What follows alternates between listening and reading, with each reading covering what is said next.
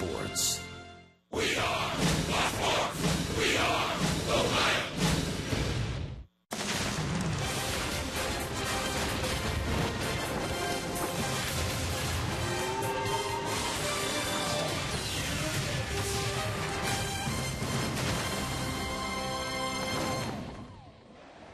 Today, it's our swan song from the desert, the final of our eight spring training telecast as the Cleveland Indians once again play host to their in state rivals, the Cincinnati Reds, here in Goodyear Ballpark.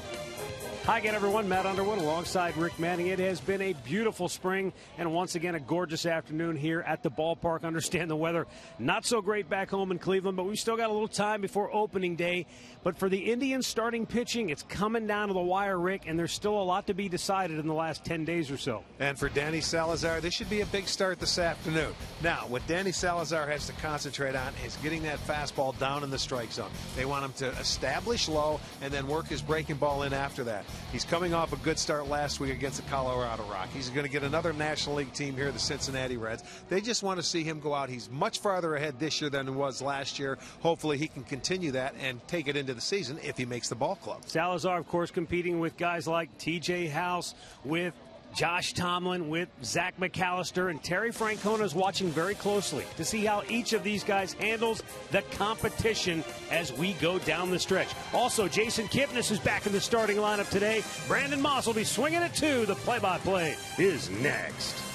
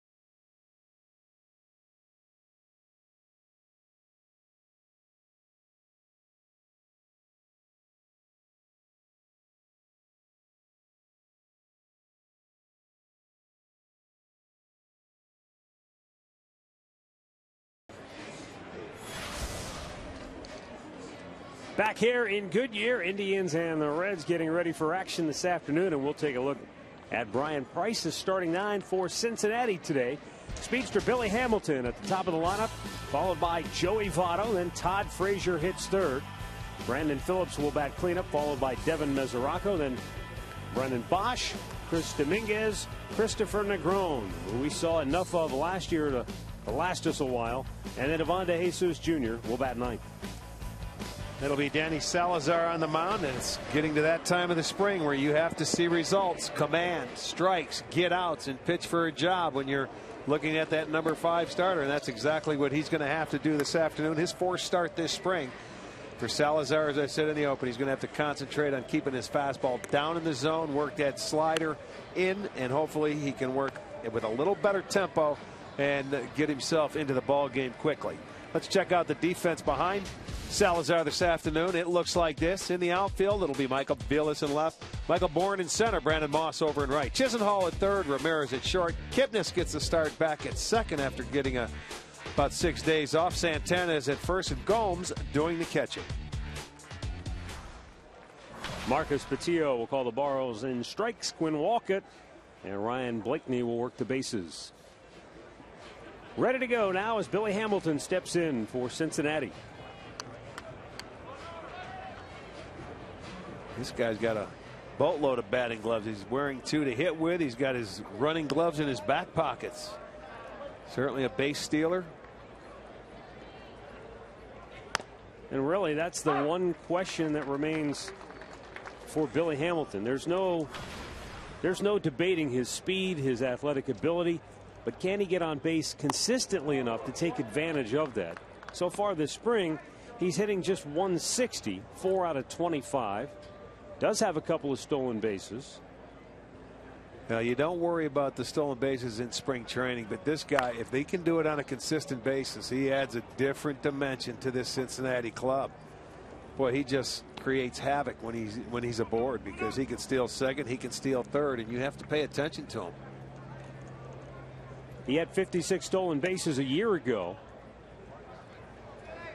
but 117 strikeouts and an on base percentage of just 292. Swing and a miss. Salazar took a little something off and has his first strikeout to start the game. Well, let's go down to Andre Knott, who's standing by in the Indians dugout, and like all of us, watching Danny Salazar with great anticipation here today. We're watching Danny Salazar, and Terry Francona made a great point this morning in talking about the fourth and fifth spots and talking about the pressure of these last two starts down here. He goes, Look, they can't deal with the pressure here, how the heck can we put them out there against Detroit come when the season starts? Other thing to look at, Jason Kipnis back in the lineup after being out with a back injury. Michael Brantley out today as he has a tight back. If it was a regular season, most likely would be able to be in the lineup, guys. Yeah, that's a good point, Andre. And, you know, guys deal with a very variation of uh, maladies during spring training, most of which if it was a regular season deal, they'd play through it. Nine times, uh, yes, there's no question. They can get through it. There's no need to rush them because this doesn't really count. Once we leave here, you forget about spring training. When the bell rings, boy, there's just a different vibe. And I think all these guys down here right now, Matt, they've been here long enough. They've been here about almost six weeks. They're ready to go. You, that last week, you get ready for the bell to ring as a player. Joey Votto awaits the pitch. A little bit high. One ball, two strikes. Votto, tremendous on base percentage there at 390, even through an injury plagued season. Swing and a miss, and Salazar has struck out the first two. Mickey Callaway's been very encouraged by the off speed pitches from Danny Salazar here lately in camp, and here's another good one. Well, you know, I thought this was a changeup, but now I, I, I, you get to it. He, his slider and his changeup, they react sometimes very the same. Similar, yeah. They're very, they're very similar. But uh, that one was a slider. I think the first one he got the strikeout was with a changeup that was up. And it, it, all depends on his grip on, on how that ball moves. You know, I talked to Danny early in camp, and he showed me with his pitch grip exactly why we are many times fooled by the pitch because they're they're not the traditional type grips that you're used to seeing when it comes to a changeup. Right. So a lot of times his changeup doesn't react like well, a normal changeup. And does. my guess is that sometimes the way he grips it, he'll overthrow it and it stays upstairs and it doesn't have the, the, the spin that it should have, like a circle change. Good fastball pegged the outside corner there. And it's two and one. The changeup is always a field pitch. And the slider. He likes to throw it hard. If they want him throwing the ball downhill, concentrating down in the strike zone, and then the breaking stuff comes after that. That's mashed deep left and see it and it was a fastball in his wheelhouse, and he has given up a home run in every start this year in spring training, and that has not changed. Two out homer, and uh, bad located fastball, I would think. Todd Frazier's third home run of the spring gives Cincinnati a one to nothing lead. And if you take a look at the location, They want it away. It creeps back down and in. Frazier jumps on. He's a good fastball hitter. Put a good swing on it. He got it down, but not the part of the plate he wanted it.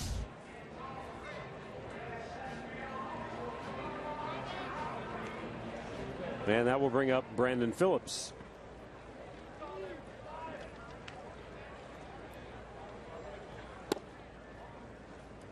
Well, here's the thing. Every pitcher that goes out there wants to execute and you try to stay in the moment pitch to pitch, but you're going to make mistakes. You're not going to hit your location every time. But with Danny Salazar, the thing that Mickey Callaway and Terry Francona continue to stress is they're looking for that consistency Right. and being able to repeat down and away, down in the strike zone, and time after time. And what we're seeing in this first inning, great start. First two batters gets the strikeouts.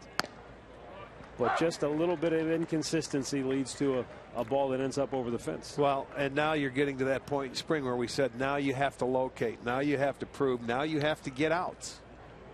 And they're looking for that.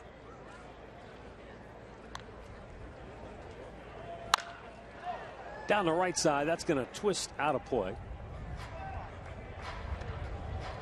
Yeah, there's a time in spring training where You work on things. you might have a bad outing as well. He was just working on some things. He wasn't really, you know, looking at pitch sequences and things like that. Now, with regards to these last two spots in the rotation, this is about competing. Yes, it is. Big curveball check swinging a foul off toward the Indians dugout.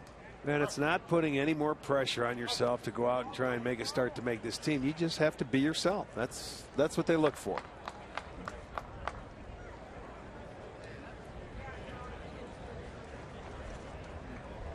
Well, again, with Danny Salazar, I mean, can't imagine this is pressure. He started the first game, the only game of the playoff season two years ago.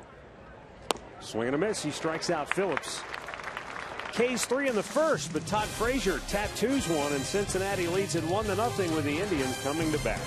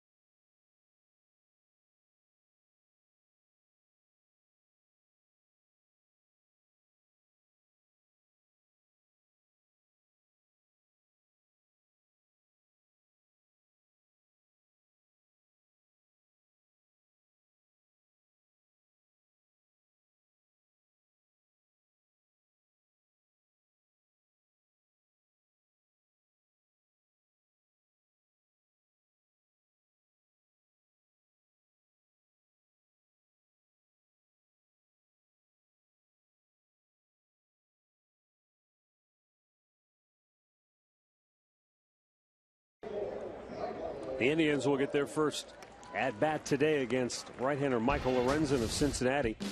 Bourn, Kipnis, and Murphy at the top of the lineup for Terry Francona today. Santana, Moss, and Gomes in the middle. Lonnie Chis- Chisenhall swinging the bat well as we go down the stretch. Here in spring training, Mike Aviles and Jose Ramirez rounded out. Michael Lorenzen on the mound for the Reds. This will be the fifth time out for him. Every time out, he's pitched two innings. His first start came against the Indians here back in the opening uh, of spring training. He went two innings, gave up three hits, struck out four, and walked one. Did not allow a run. Uh, this is a young man they think has great stuff, and he could be a, a big part of their future. Made 24 starts at Double A last year with a 3.13 ERA. Two years ago, he was the 38th overall pick in the draft. As Michael Bourn takes up high one and one. Lorenzen came out of college as a center fielder slash closer for Cal State Fullerton. Good program. There's a ground ball single from Michael Bourn into left field. Nice stroke. Well, he has had a terrific spring, and Terry Francona told me earlier today he does appear to be man on a bit of a mission. Well, you know what I like, uh, what I've seen from Michael this year. When you try to pitch him in, he's been able to turn on the ball. You see that fastball away. He didn't reach for it. He waited for it nicely and just slapped it past the third baseman. He is hitting it where he's where it's pitched, and you can see by the numbers this spring, uh, he is feeling pretty good. Terry Francona said he can make our team so different with his speed at the top of the lineup. And he said, you know, I watch him every day. He's in that weight room working out and working hard, not going through the motions, but working hard for a veteran. Doesn't have a stolen base this spring, but he said that's more of a conscious decision on Bourn's part. He said he feels great. You know what? He's still. You don't have to question Michael Bourn if his legs are under him. Like I said, you get ready to about the last week, and I'll bet you in the next few games, if not today, he'll feel like taking off, and, and you know, just to get your footwork right. He, he's stolen so many bases, that he doesn't have to. His legs feel good. You don't want to beat yourself up down here in the hard Arizona fields.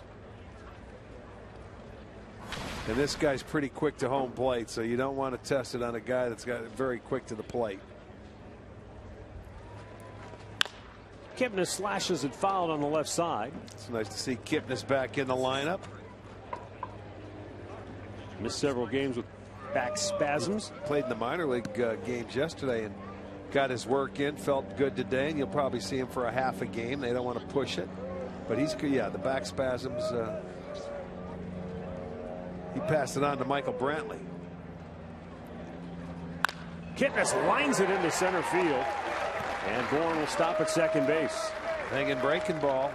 There was a low heater that went right past Lorenzen. You know, before Jason went out with the back issue, he was swinging it pretty good. And he looked like he was staying on the baseball where here's a high breaking ball, easy for him to go right back up the middle with. And he does. So the Indians with back to back base hits here in the first. A couple of good swings. Now here's David Murphy. Murphy in the DH role today. And he takes a strike.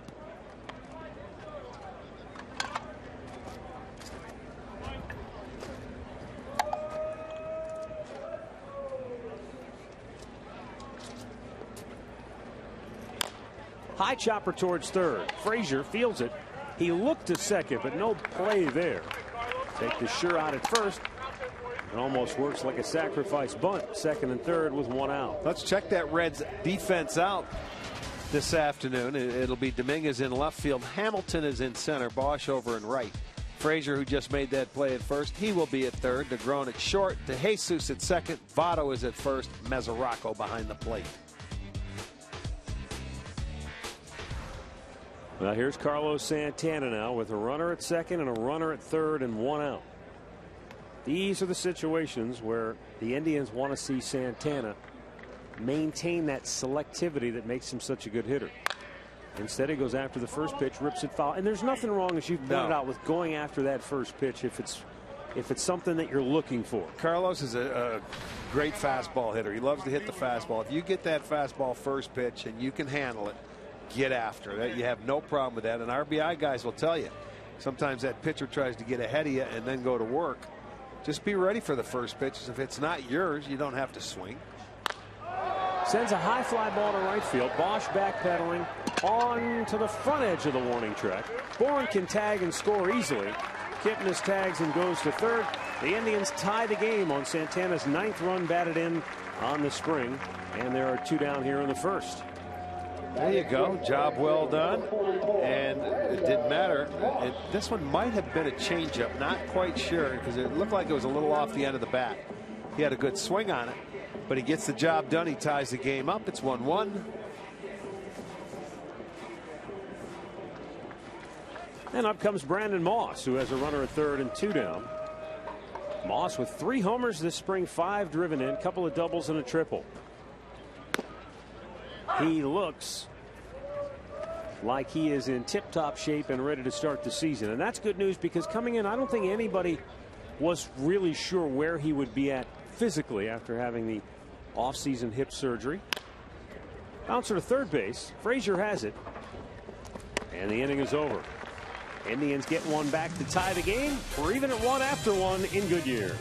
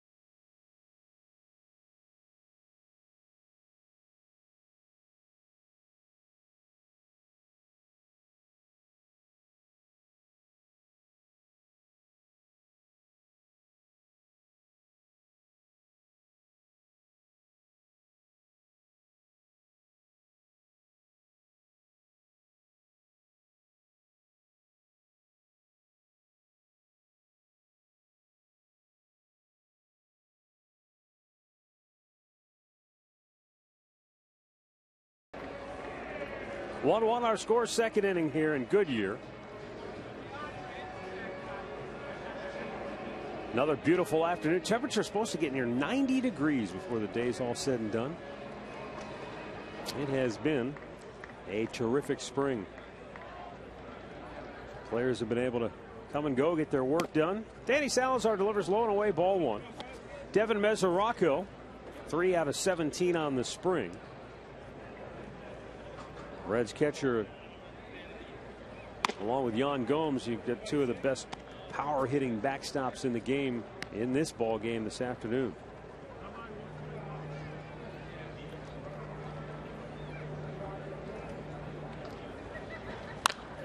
Mesoraco may have a little more pop than Gomes. Gomes might be a better overall well, hitter you know than what? I, I, I would agree with that right now. But Mesoraco plays a little a friendlier ballpark to hit homers in down there, and I think Gomes uh, he'll be able to challenge him. Mesoraco had 25, and it's a great year. Drove in 80. I think Gomes can do the same thing. Caught the outside corner, well located that time for Salazar.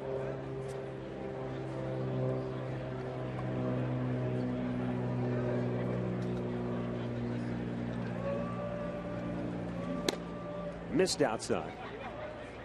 See, that time he made a perfect pitch the pitch before, and you'll see this with a lot of young pitchers. He tried to do a little more, and he, he overthrows that pitch, and he, he, missed the strike zone. And he felt it. You could see him uh, tell himself that. Let's hit high in the air, deep left field. Aviles back. He's running out of room, and it is going to land beyond the bullpen. Second solo home run of the day for Cincinnati in as many innings. Mesoraco with number two on the spring. When you have a fastball like Salazar, it doesn't matter how hard you throw it because hitters will catch up to it. But watch middle of the plate again. This one leaked back over the inside part of the plate.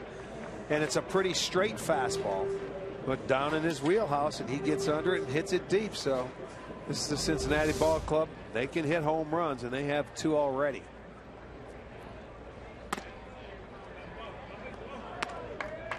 The one thing, though, you see, he's trying to be aggressive. He's going at the hitters.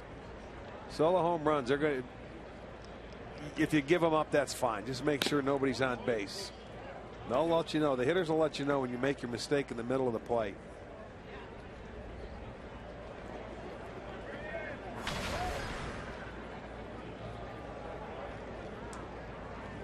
Foul right back to the screen.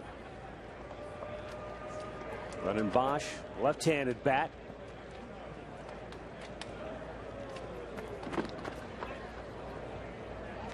Remember him with the Detroit Tigers? He could do some damage from time to time. Yeah, he's a good low ball hitter. He likes that ball down. He can rake it. Typical left-handed hitter.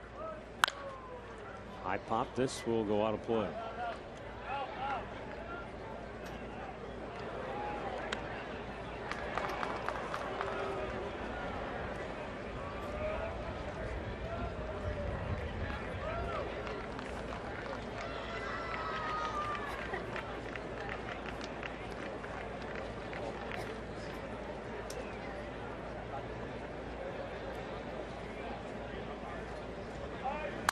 Broke his bat. It's in the hole, and it's a base hit.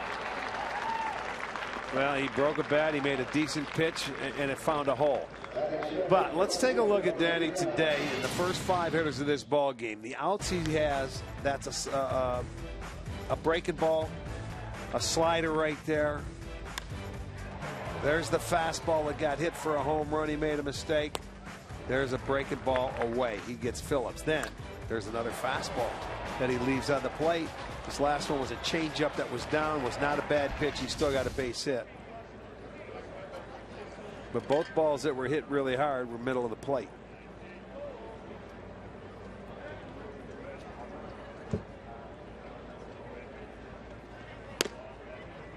Thought the outside corner.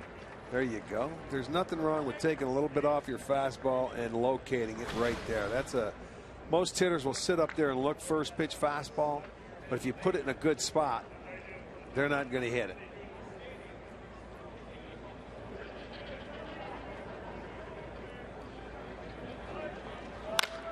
In the air to center field, Bourn cruising into the gap, calling for it. Makes the grab. Wind knocking it down.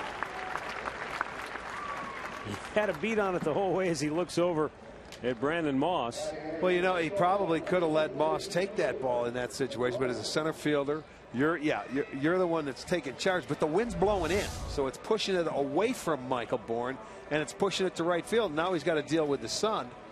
You stay with it, but once you get a beat on it, you can't take your eye off it here, as we said so many times out here in Arizona.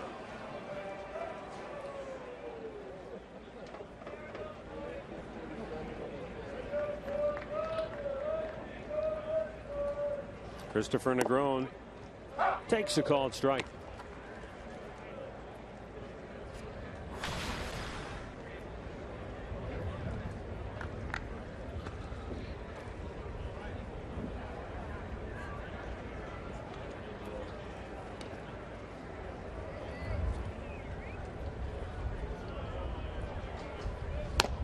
Blew it right by him. But again, that fastball not primarily where the Indians want to see it. I want to see that more down around the knees. Anything that's thigh high or belt high, even with good velocity, A, it's either going to get hit or be fouled off. Oh, that one nailed him. Got away from him, and now there are two on with one out. Well, this is a slider that gets away from him. That I know was a slider. I mean, it's tough to tell sometimes. You know, as a pitcher, you would think that you should be able to separate or at least tell the difference between a slider and your changeup. But for, for whatever reason, it's hard for me to tell with Salazar on the mound.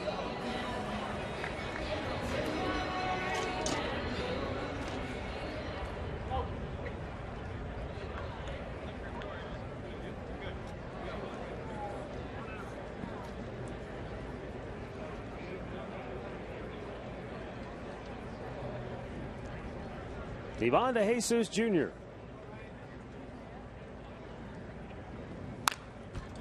Fouls it right back to the screen.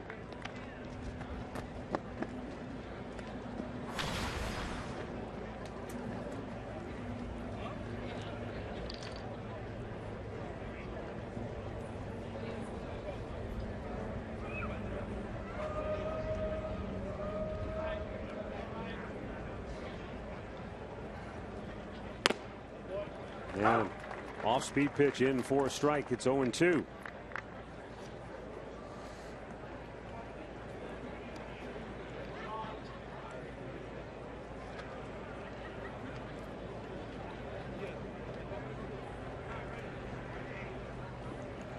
Salazar checks the runners, deals, and it's line to center. Bourn freezes in his tracks and makes the catch for out number two.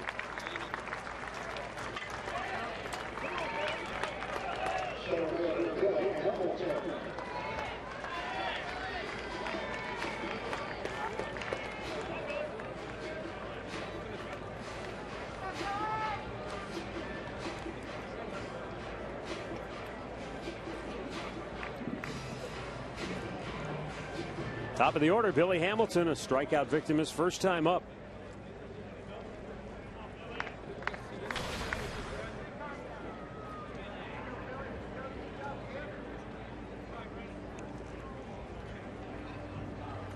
Hamilton ropes it into right field over toward the line. Moss chasing it, cuts it off, but coming around third to score is Boesch. Stopping at third is Negron, and into second with a two-out RBI double is Billy Hamilton, and the Reds' lead is now three to one. Hamilton was not going to spot him the fastball. He gets that pitch down and uh, wasn't in enough as he raked it into right field. Moss cuts it off, just making sure, hey, I've got to get that ball with two outs, man on first base. You always go like he's going to come home with it. So it's a double for Hamilton. Come back, they have two, and they still have runners at second and third and two out. And now you have a tough out in Votto.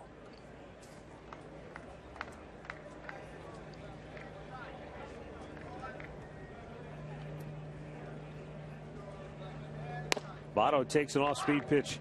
Looked like a slider down and in for a strike.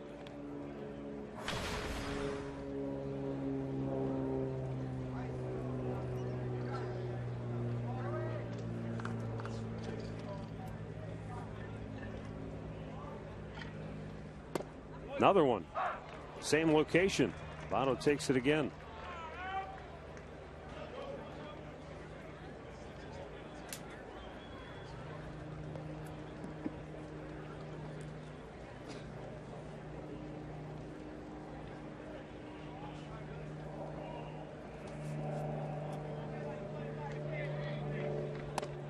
Buzzed him with a fastball. Maybe just a show pitch to come back to set that well, slider up again. He threw two good ones, but you got to be careful because he just spit on that fastball. It was to take his eye or change the eye level.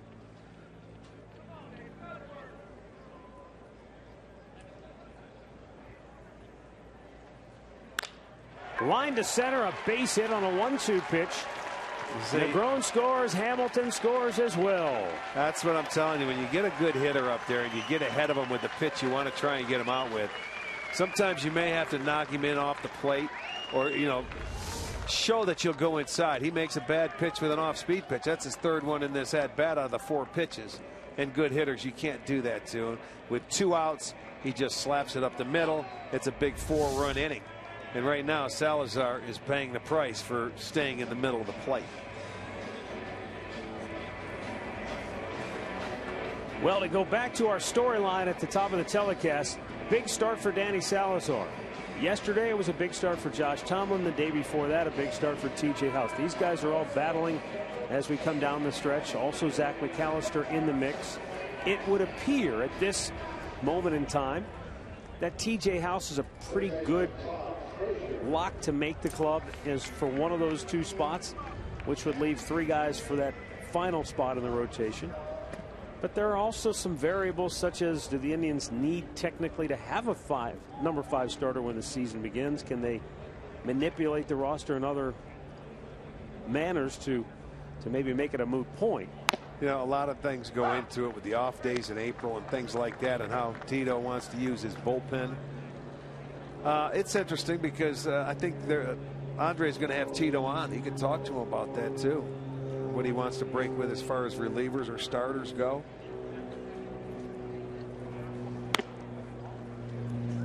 Well, Tito will tell you that he'd, he'd break camp with as many relievers as they'll allow him. Well, you know that.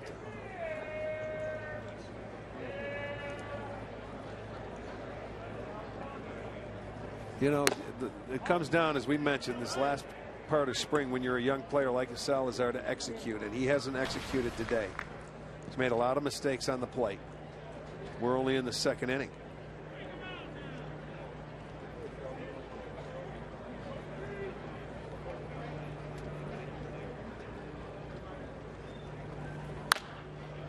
Hit foul out of play.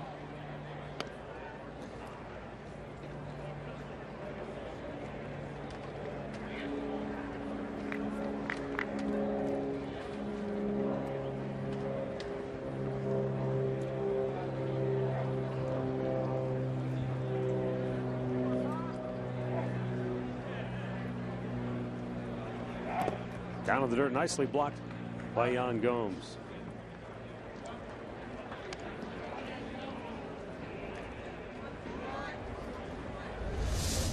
This is a changeup, I can tell. You, you see how he turned it over a little bit?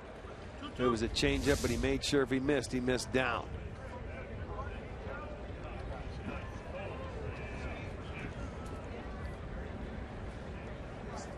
Runner goes and a foul back toward the Indians dugout near the on deck circle.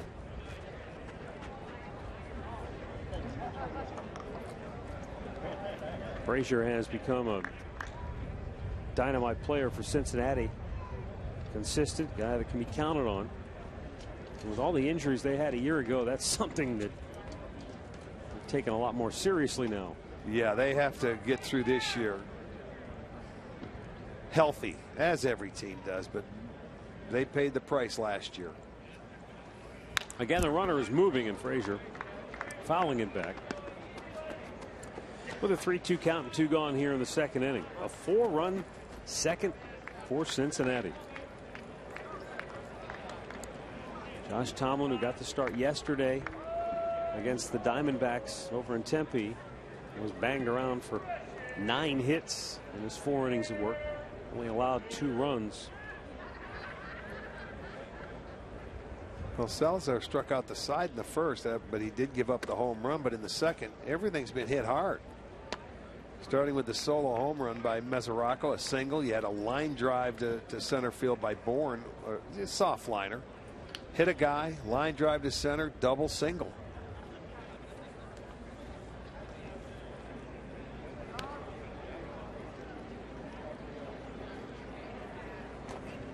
Moving, swing and a miss. Frazier strikes out. Fourth K for Salazar, but four for Cincinnati here in the second. They lead it five to one.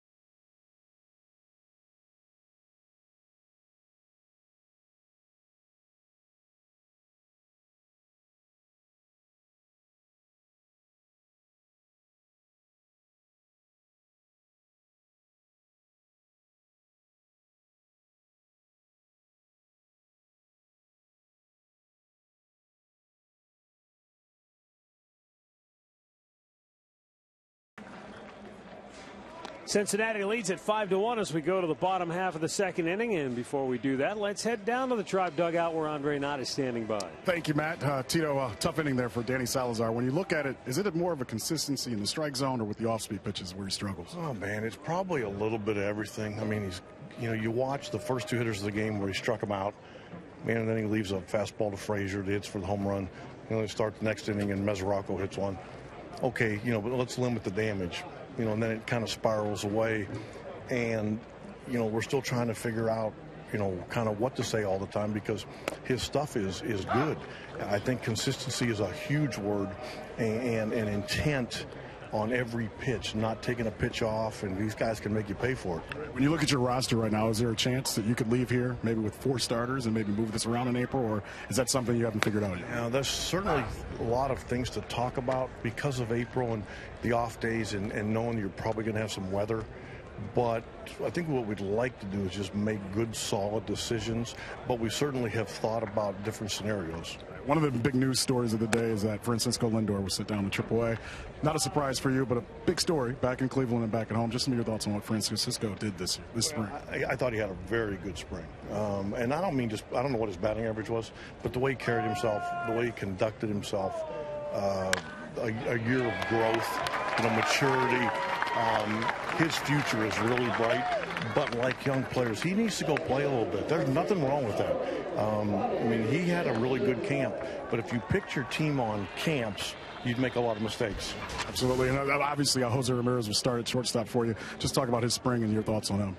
He's he's. Uh, I think sometimes he gets a little bit overlooked. You know, he got to the big league so quick, and when he first came up, he was kind of, you know, he played a little third for us. He pinch ran, but he put up some pretty good numbers in AAA. He's just not real big, but he can hit, and he can hit from both sides. He can bunt and, and, he covers a lot of territory in the infield. So again, I think we're in pretty good shape there. Last question I'll ask you so you can go enjoy the rest of the game and not be bothered by me. Has this camp gone the way Terry Francona has wanted it to go thus far? Well, more importantly is if it goes like Brad Mills wants it to go. Because everybody who's been around here knows Millsy spends a lot of time. When he gets here at four in the morning and he goes, he leaves here sometimes at seven and he, he's about as organized as you can be and he allows me to kind of be around the players a little bit, sometimes goof around because he has everything so organized. Because if you're not organized, you might as well send the guys home. And I think Millsy's the best. All right, well, enjoy your Wildcats tonight. Oh, yeah, I will. Take care, Terry. Back up to you guys up in the booth. All right, thanks, Andre. And with regards to Jose Ramirez, not only has he done a great job, but he, he's got his own parking spot.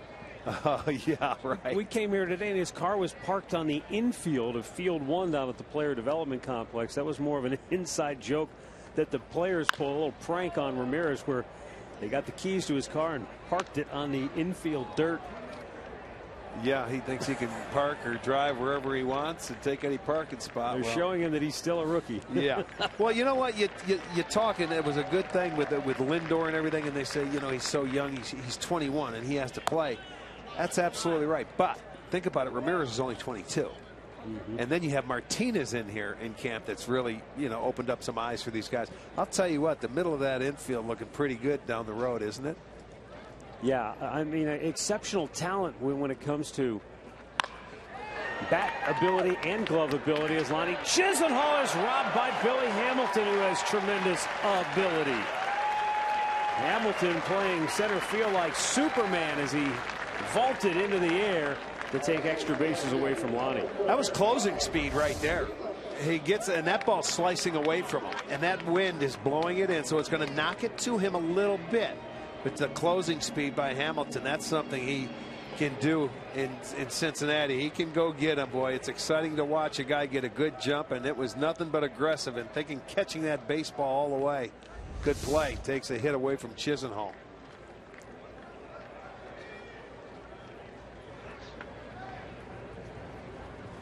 You know, last thought on Francisco Lindor.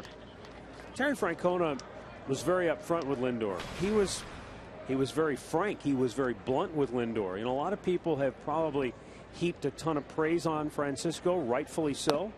But Terry Francona was quick to point out what he needs to work on, things that he hasn't done yet that he needs to do. And and I think every player wants honesty. They appreciate Bingo. honesty. They appreciate the fact that And Terry told him up front, look, you're going to start the year in the minor leagues. Terry Francona is a player's manager. He'll be honest with you, and he's not going to give you. And you mentioned it last week on our last game, I think. You know, any false praise that you don't deserve. And I'll tell you what, that's all you can ask for is honesty. You have to earn the job, go out and fight for it. There's nothing wrong with spending and paying your dues. I think it was pretty interesting when Andre asked him about, you know, they are going to cover everything. I guarantee you they've talked about breaking camp with four starters and that extra bullpen guy because he can work his way through it where he won't burn guys out. Yeah. You know what I'm saying? If anybody can do it, Francona can. So I still think it's up in the air if they want to go with five. Uh, you know, it, who knows? Well, the other thing, and again, a lot of this comes down to, and we'll, we'll have Chris Antonetti on later in the game. Not that he's going to give us any of the inside se secrets, but No, you can manipulate the roster. You've got a guy like Zach McAllister who could be a starter, he could be a reliever. So Yeah. he gives you the flexibility maybe to maneuver the roster a couple of different ways. Aviles is thrown out, two down. Gomes in the scoring position. But again, these are these are very small issues in a six-month season that Yeah. we put a lot of focus on because It's opening day. that's all there is to really look at with the 10 Yeah. days to go in the season. They're going to make the right decision. Believe me, they're going to go in. They're going to close the doors. They're going to talk about it. They'll come what they feel is best for the Cleveland Indians organization to break camp with. It will change in the month of April. There's no doubt about it. It does every year. You know, you come out and you never know if there's an injury or you, something's going to happen sooner or later. Rick, all we have to do is look back to, wasn't it Terry Francona's first year as manager? They had a workout before opening day in Toronto. Uh-huh. And I think it was Scott Kazmir got Yeah. hurt during Stretching. the workout. Yeah, stretching. they, they were running. They weren't even running sprints. They were jogging sprints. Otto calling for it, makes the grab, inning over. No runs ahead, a man left. Through two, it's 5-1 to Cincinnati.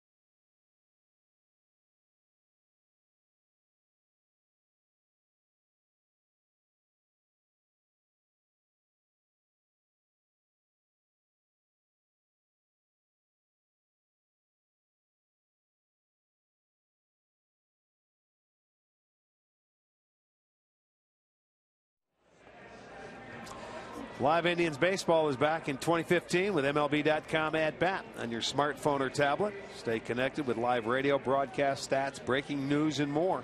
Download the MLB.com at bat, the number one app for live baseball. Brandon Phillips going to lead off the bottom of the third for Cincinnati. Struck out his first time up. Salazar with a first pitch strike.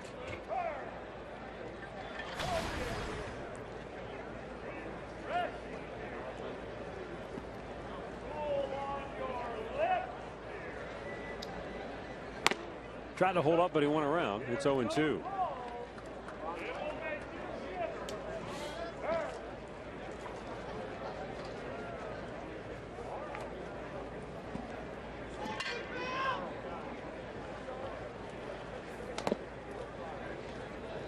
One ball, two strikes.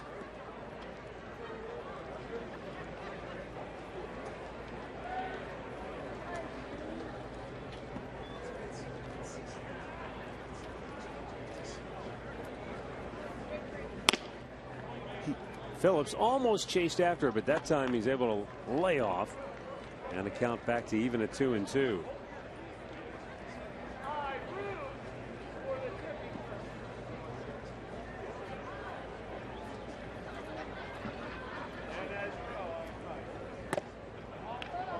Wow, close pitch and a full count. Yeah, you could see he let a deep breath go out there thinking he had a strike.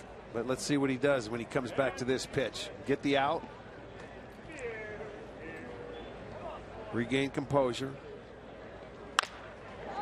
Hard bouncer up the middle. Diving stop by Kipnis. Throws him out from his knees. What a play by Kipnis here in the third inning. Well, there you go. You want to test your back? That's going to test it right there. Beautiful play by Kip. Ranging to his right, makes a backhanded stop. And I'll tell you what, he saves that leadoff man from getting on a board, and he helped out Salazar. Good play. All those defensive drills they do in the morning with. Did you see where his glove came Mike unstrapped? Sarbaugh really paying off handsomely for Kipnis. Sky high pop left center. Boy, you don't want to see those kind of plays during the day out here. Two down. Let's go back to the second inning that uh, Tito was talking about in the dugout. You try and minimize the damage. Made a good pitch to get ahead 0-2.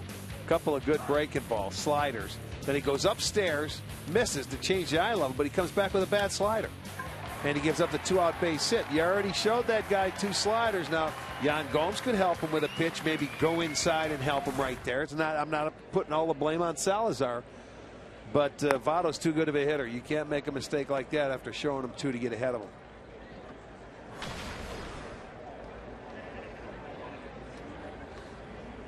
That proved costly in that second inning as the Reds pounced on Salazar for four.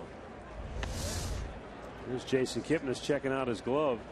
Well, actually, Blue. no, that's a, you know, the, I told you the infields are hard. You can see the blood he's Yeah. got there on the from the dive.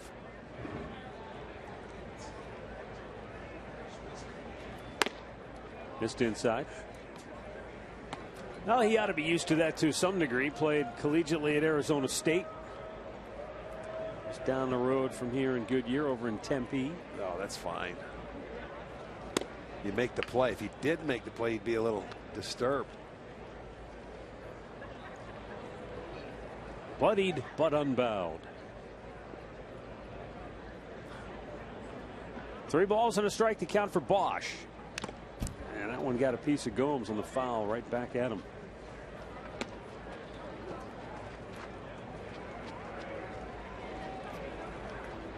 This is another thing you look for in a young pitcher.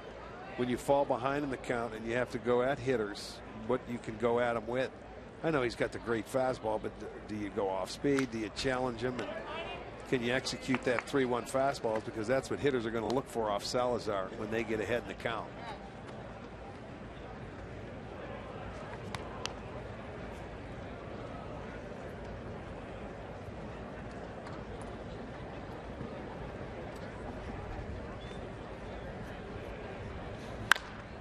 Sliced out of play.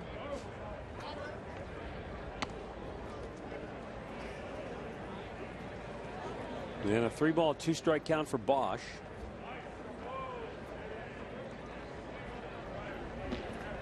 See where he goes uh, with this 3 2.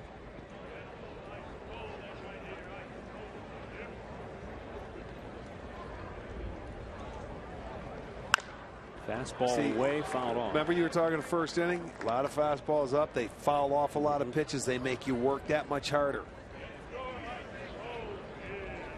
That fastball that's down in the zone around the knees is a tough one to even get a piece of. of Well, you have to work your legs to get down and hit a ball like that. That's what makes it so hard to hit. 3 2. Chased one up high. Strikes him out to end the inning. Five Ks for Salazar. Gets a little help from the D here in inning number three. Jason Kipnis throws out a runner.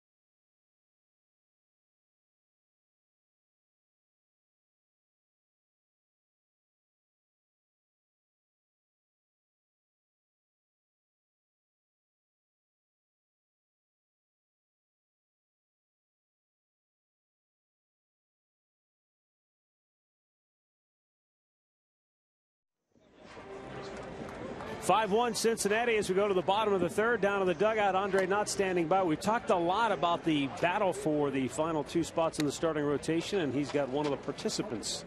Yes I do. Zach McAllister's here with us. We've talked a lot about the fourth and fifth role in the rotation and we know you're going to be on the team where do you want to be come when this season this team breaks from here? You know, I like to be a starter. I think uh, I came into spring training as a starter, and uh, I'm looking forward to if that works out. That's that's going to be great. I'm looking forward to that. But if not, I'm ready to be in the bullpen and do whatever I can to help.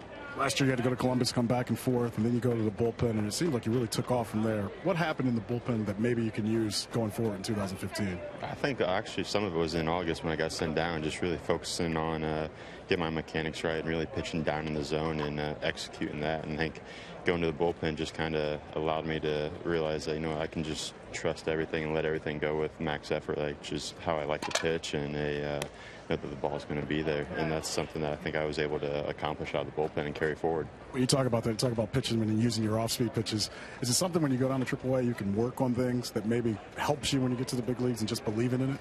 Yeah, I think so. I think it puts you in situations where you know you have to throw certain pitches in certain situations and uh, be able to execute those pitches. So when you do get back to the big leagues and uh, you have that confidence that you're going to be able to throw those pitches in those situations.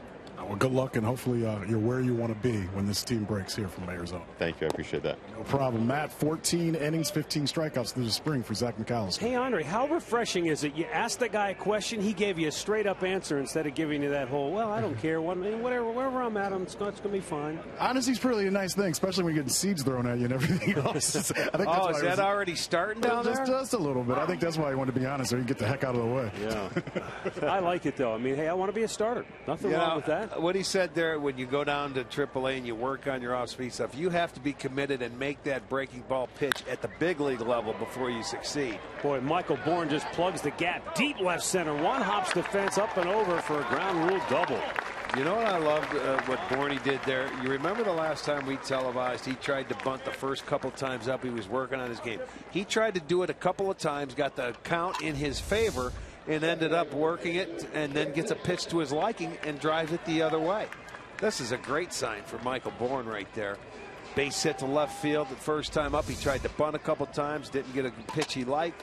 Doubles to left center field. Both times leading off an inning. Led to a run in the first. He's in scoring position already for Kipnis, who singled his first time up. Look how quick the trainers react to. Remember, he opened up, looked like a gash on his forearm. They've already got him bandaged up, and he's ready to go.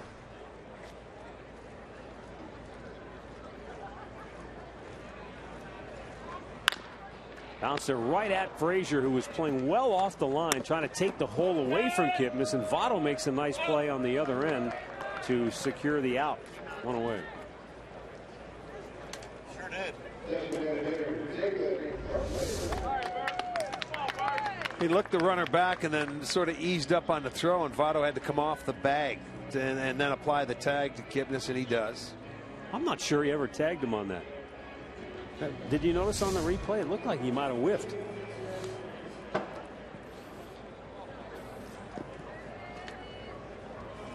Here's David Murphy who grounded to third his first time up. So this is, is it interesting that it's not a true shift, but Frazier's a good 20 feet off the line. Take another look. Does he ever well, you see, tag him? You know what? It, it's hard to tell if he tagged, but with only three umpires, you yeah. got the first base ump sitting between first and second, so he assumed the tag was, was there. When you go up high, it was hard to tell, but it was close enough for me. He's off the bag, plenty of time. He no, never tagged him. No, he didn't. That's why Kipnis looked at him funny. But you see, normally, regular season, uh, first base umpires there. You're right. There was daylight. Bouncer towards second. And they'll throw him out two down. Bourn over to third.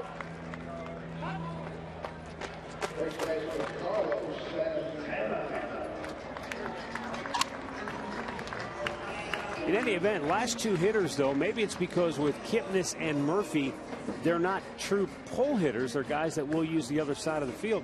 And so instead of flopping the shortstop over to the right side, they uh -huh. kept him on the left side and just pulled Frazier off the line. It worked out well to their uh, advantage. Yeah, that's, uh, I like that strategy because they are not pull hitters by any means. Now with Santana, a little bit of a different look. Still not a drastic shift, but they do take the second baseman Well, this way is where around. they should have the shift on with this guy because he is a, a dead Well, pull hitter. And they just did move Negron from shortstop over to the second base side of the bag. Maybe he didn't get the signal from the dugout Yeah. initially. Either that or they wait till he gets one strikeout. But he's going to try and pull everything. Pops it high in the air to left. Dominguez makes the ground. No runs ahead, a man left through three. It's the Reds five, the Indians one.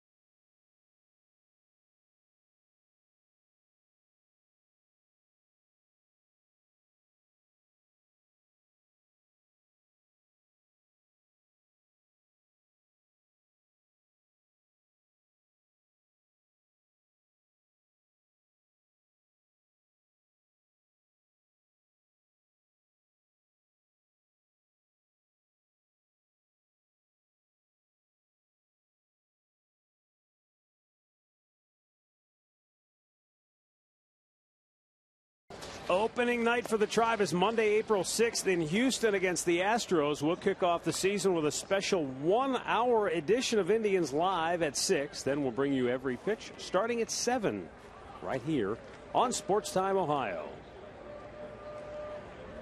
All right. That'll be opening day on the road in Houston. They have some new additions to that ball club. Added a couple big keys in their bullpen where they struggled last year. Some good young talent. Jose Altuve, of course, dynamite leaders. second baseman. Yeah.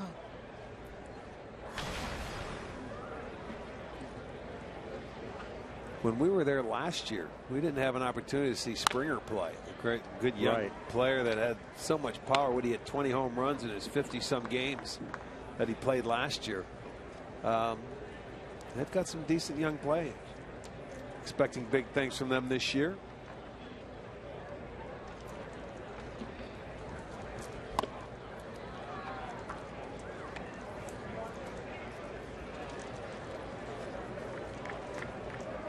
Yeah, Springer had 20 homers in 78 games last year and 114 strikeouts.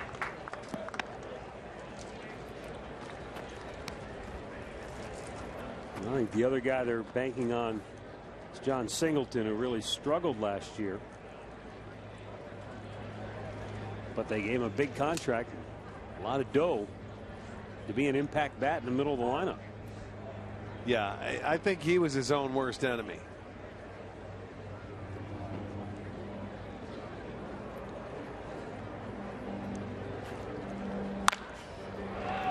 Base hit into right field, and Dominguez singles to lead off the fourth inning.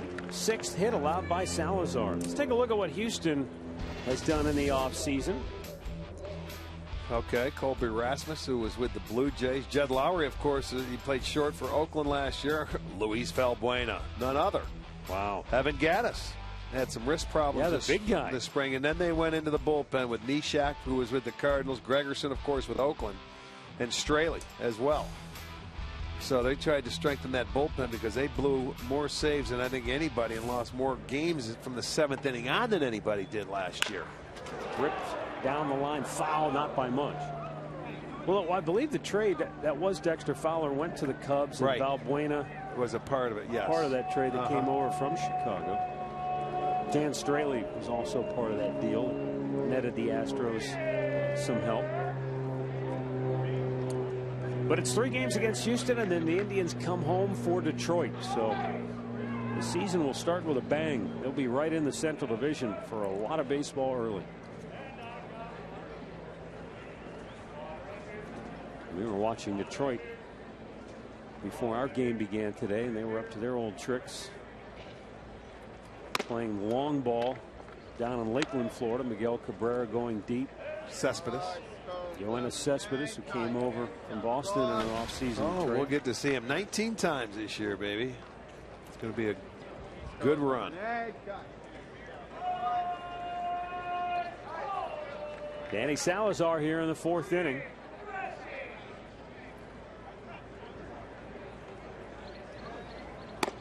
This is up and away. He just hasn't commanded his fastball consistently today. I mean, you make a good pitch, and then uh, the next thing you know, you can't hit it. He's been very inconsistent. I think there's a reason why we've heard that sentiment echoed by Terry Francona, by Mickey Callaway. Salazar, what are you looking for? Consistency down in the strike zone with his fastball. You know, I don't know whether it's mechanically or, or what, but um, it's just it's just not there. I almost wonder if sometimes is it as difficult as it as it is for a hitter to go down and use his lower half to get a low fastball. Is it equally difficult for a pitcher to go down and drive it down in the strike it's zone? it's sometimes it, it's hard. Yes, you know you got to use your legs to get down there and drive through the baseball to keep it down. The toughest pitch that is the uh, you know the glove side fastball for him would be glowing away. Mm-hmm. You got to really get down there and. and Well, where's he missed out today? front and go. Instead of down and away, it went down and over the It- middle it, of the plate. It works itself back over the plate. You've got to really consciously make an effort to do that. You got to work those legs and your back to reach out and get down there and make sure you get it there.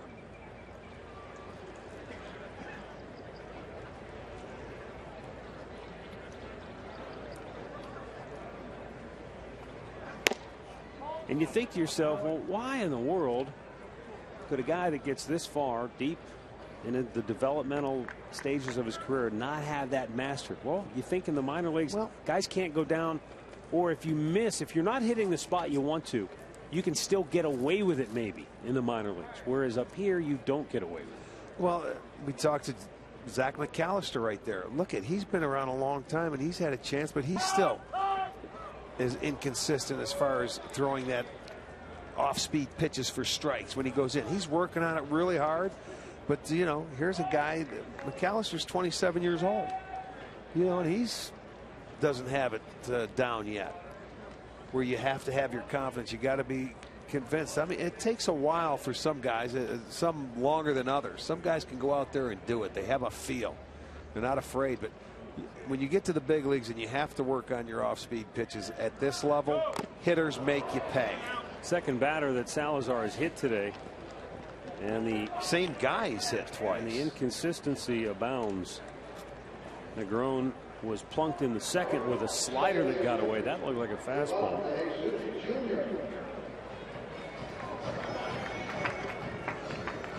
He's hit the same guy twice today, but uh, they're going to start somebody throwing out in the bullpen. Might be Marc Rzepczynski. Has not been a good afternoon for Salazar.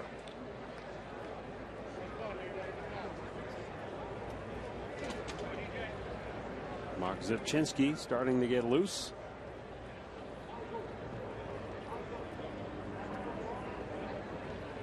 You know, and for it could be for whatever reason. Maybe Salazar is just a slow starter. You were, you know where he was a- Mhm. at this point last year in the spring, and it takes him a while for whatever reason. But they said he's been he was here early. He's been here since mid-January, working to get himself into shape. But Last year, it seemed like the Indians were just taking their time, maybe nursing him through. Whether some, he had any issues in his shoulder or whatever, I remember they were talking about arm issues.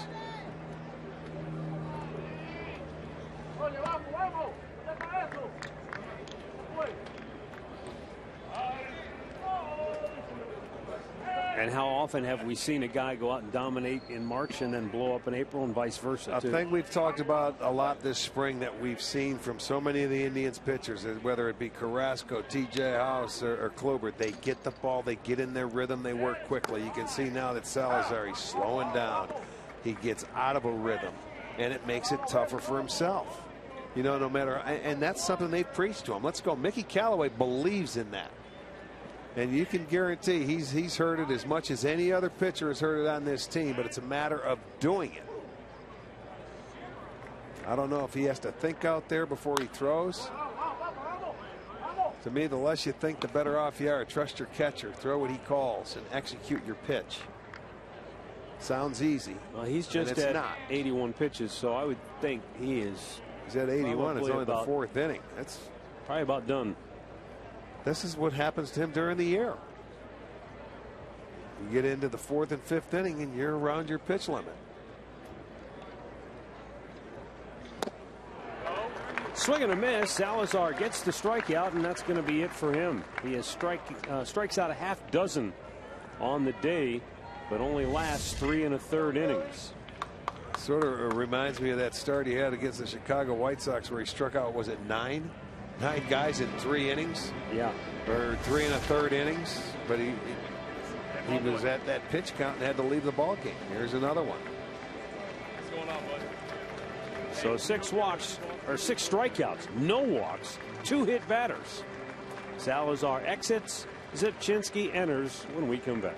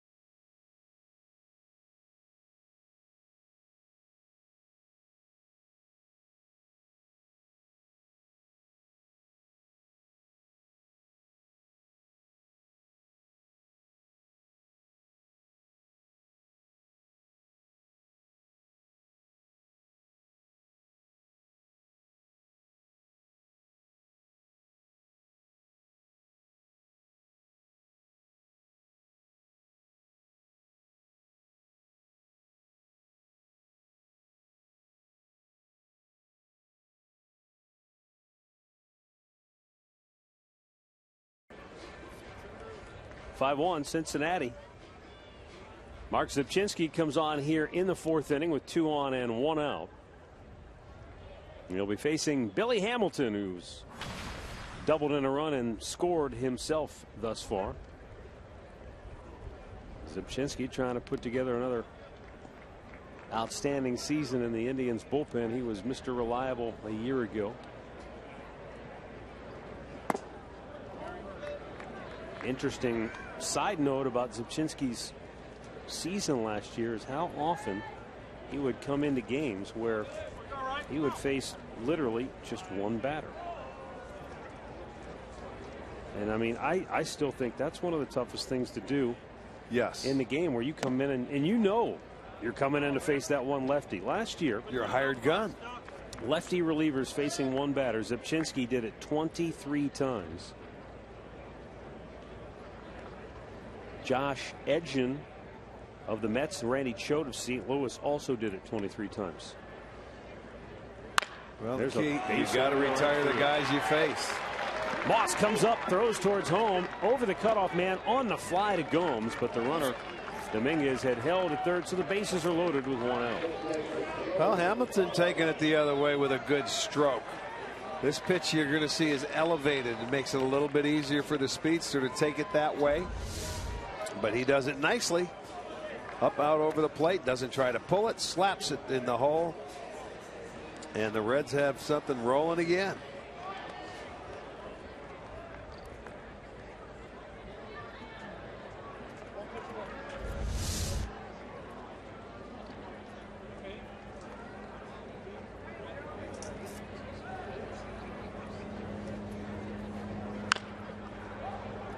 The 23 times that Rzepczynski came into a game last year to face just one batter, he only gave up three hits to those 23 hitters and one walk. Five strikeouts. Well, that's why Tito keeps bringing him back, yeah. you know, because he does his job. You get that man you're called upon to get. That didn't hit the batter, and it goes to the backstop, and a run will score.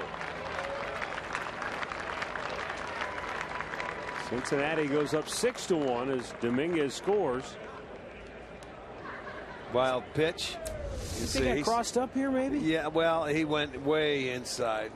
And, well, there you go. It looks like, and usually for a fastball, if Gomes calls it, he was maybe expecting that pitch away and got it in, but it didn't look like it was that far off the dish. Yeah, they had a little conversation. almost looked like could have been. He was fooled. Very well could have been. So the infield in with runners at second and third and one out for Joey Votto.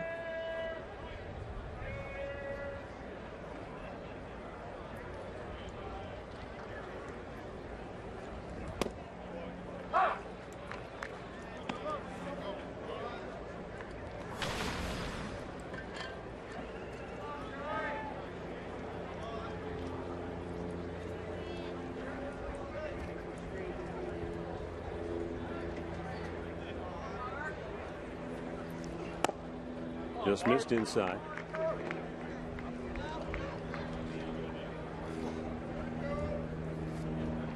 Also on the list of left-handers who faced only one batter on multiple occasions last year was Scott Downs, who did it 17 times, and he's been in camp all spring long with the Indians. Bounced up the middle, backhanded by Kipnis. He looks home, but no play there. And he'll take the out at first. Two down, another run in as Votto gets his third RBI of the afternoon. And that will effectively close the books yes. on Danny Salazar, who's charged with seven runs this afternoon. Now, that wild pitch hurt because everybody moves up. They scored, and then they take the double play away.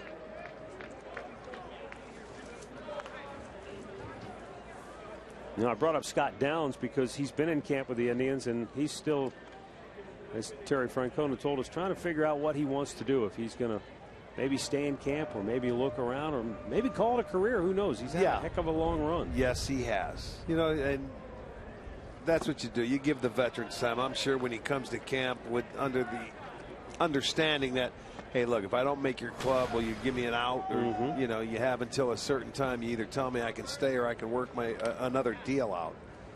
So he may take a few days to see. But when you're at the end of the line, you got to pick and choose. And I'm sure a lot of it has to do with uh, your family. Slowly tap back toward the mound. Gomes calls for it and rifles it to first to retire Frazier, and the inning is over. Two more for Cincinnati. They lead at 7 to 1.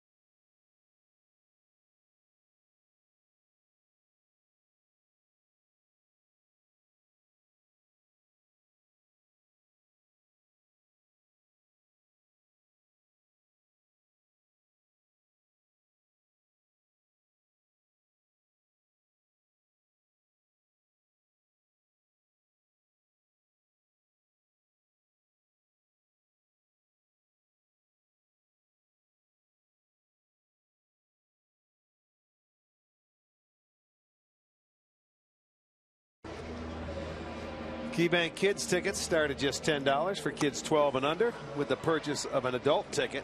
Kids uh, tickets are located in the new family deck at Progressive Field, home to the expanded Kids Clubhouse. Just log on to Indians.com kids tickets today.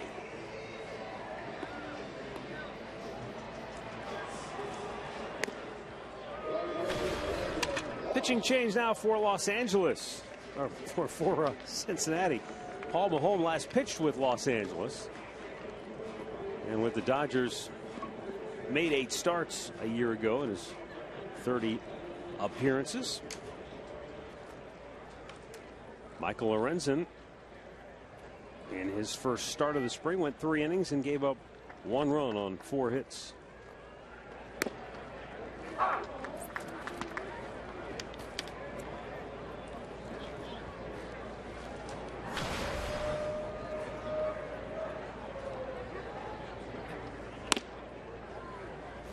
Brandon Moss bounced to third his only time up. You see the infield shift for him where you have three on the right side. I think we'll see that a lot this year with Santana and also Moss at the plate. A couple of left-handers that like that ball down and in. They like to pull it.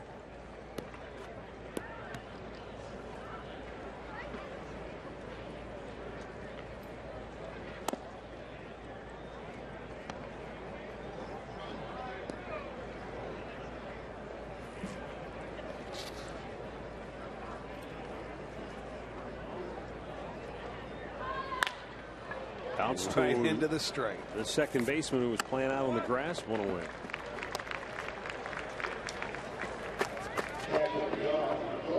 Well, earlier today, the Indians officially sent CC Lee down to AAA.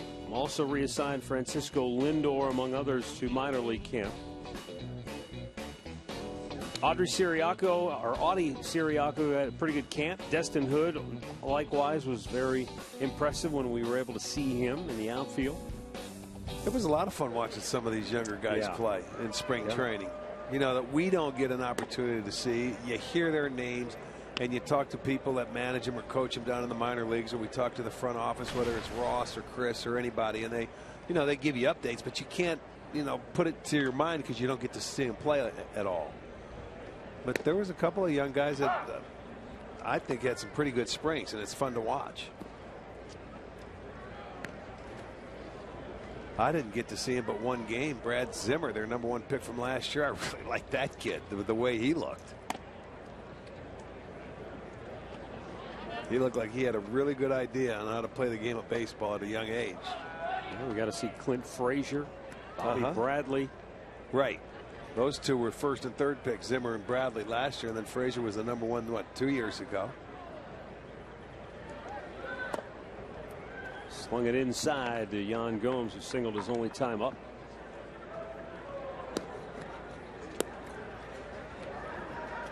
Erik Gonzalez was uh, impressive when we had a chance to see him. Another young middle infielder, Giovanny Urshela. Strike call just did catch the outside corner. Not that Yan Gomes was in agreement.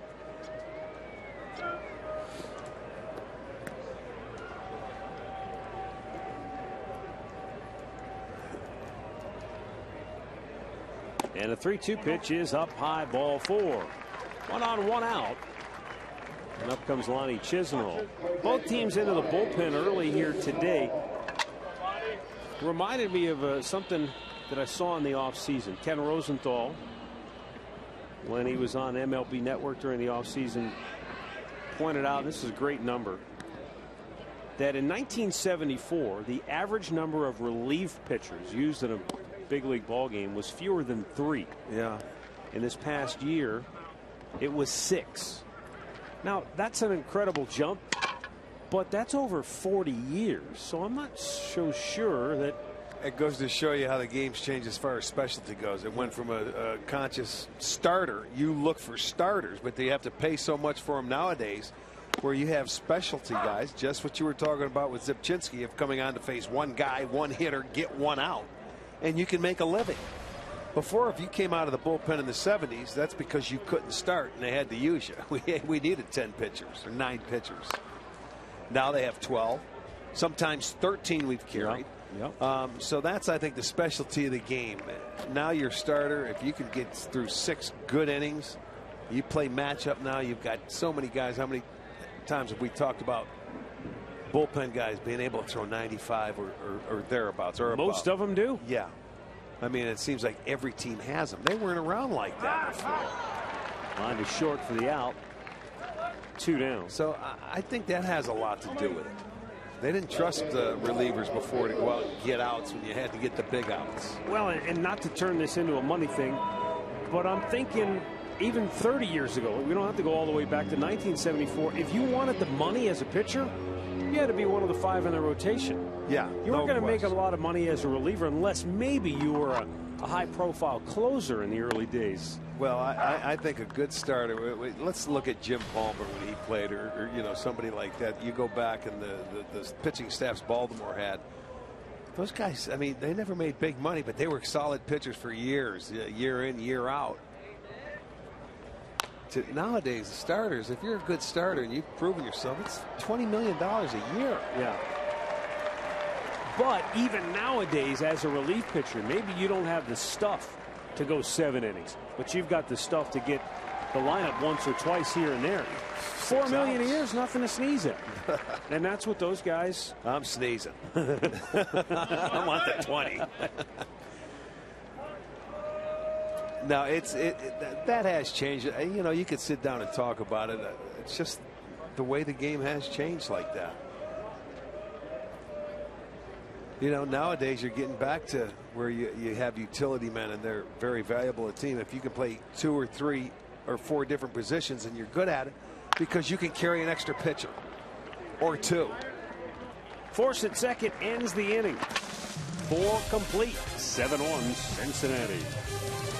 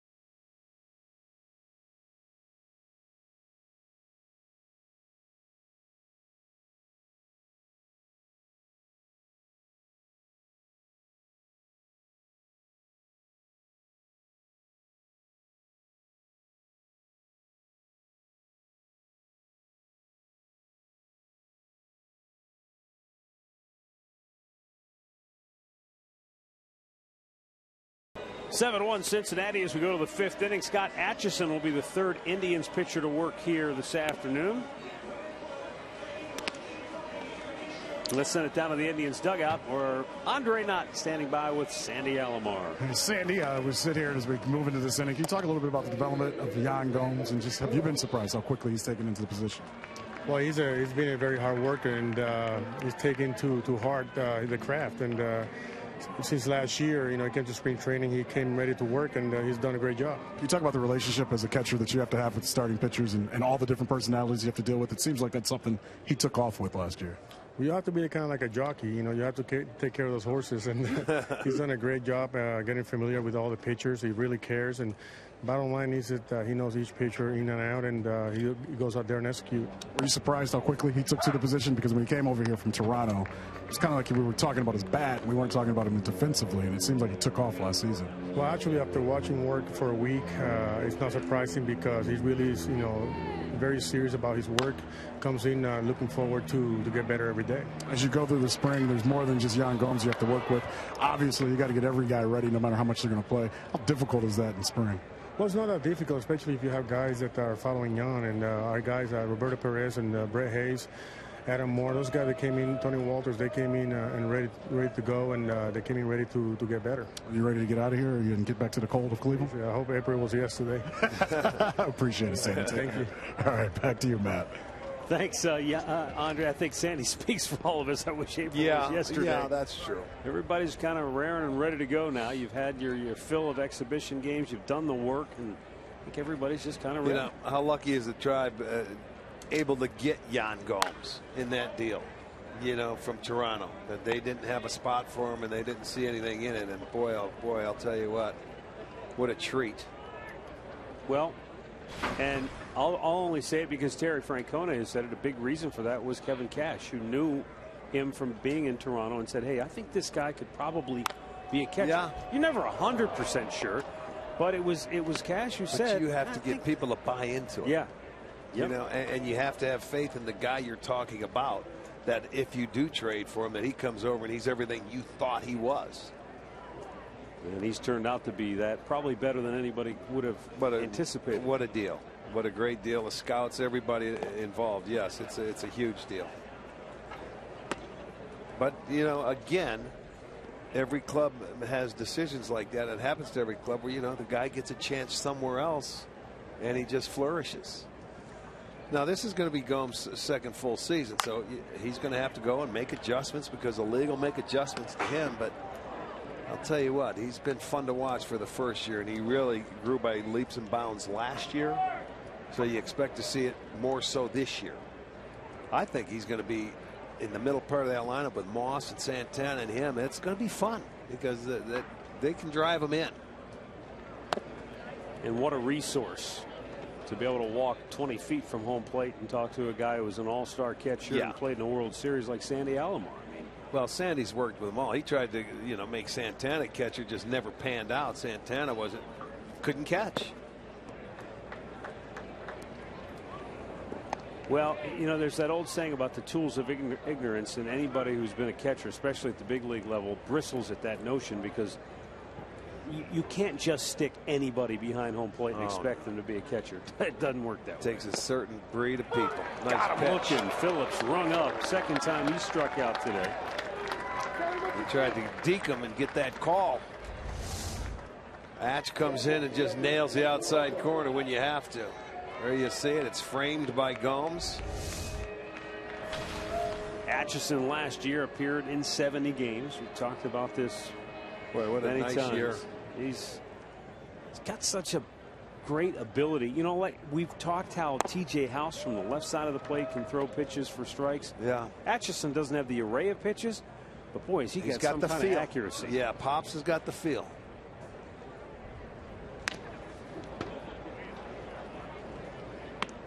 One ball, one strike to Devin Mesoraco, who homered to left back in the second. Wasn't it uh, this the first time in his life, was he 37 years old, that he had a contract before he came to spring training? Didn't he after last year? That just reminds me as Mesoraco singles into left field. I think we're, if it's not today, it's a couple of days. But the 26th. 29th. Whose birthday? Atchison will be 39. So we're three days shy of Scott's 39th birthday. Thought maybe it was today, but we're just Well, we'll we're gonna him- miss it. We'll wish him a happy birthday now. Yeah, we'll give them. And hope it's Well, windy so he can get all those candles blown out. Serve the cake outside. Actually, that was Rick that said that. I'm key. Hey, it's all in fun. I'm believe me, I'm twice as old, so don't worry about it. Ground ball. You're almost 80. Yes. second for one, a double play ends the inning. The old man turns two behind him, and we head to the bottom of the fifth, 7-1 Cincinnati.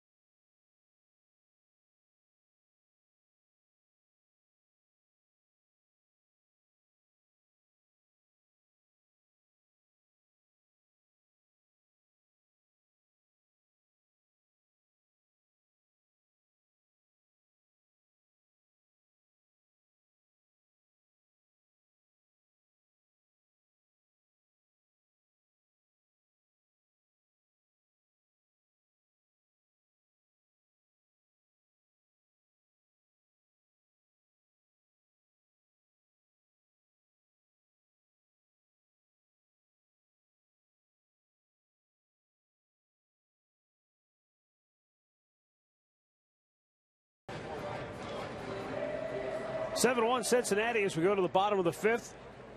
Pitchers not working in today's game, excused for the rest of the afternoon. Jose Ramirez fouled out his only time up in the second. Had some struggles early in camp with the bat, but he went to the minor league games and got a number of at bats. Started to see some more pitches. Starting to feel like his swing's coming around. Sends a high fly ball to center. Pretty well hit, but Billy Hamilton runs it down on the track one down. Michael Bourn two for two already here today. Last time up. Wanted to try and bunt ball. That was a bad attempt, but it was a strike. Missed on that one, so it's 2 1. Inside, now you get the count in your favor. You end up getting a pitch to your liking. And he wanted, he's been trying to work on bunting. Um, I know it. I see it. And that was ended up being a really good at bat. He may try and bunt here just to get one down. Who knows?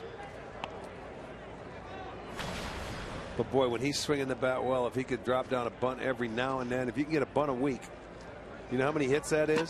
A bunt a week? Be like 20 30 hits. hits. Yeah.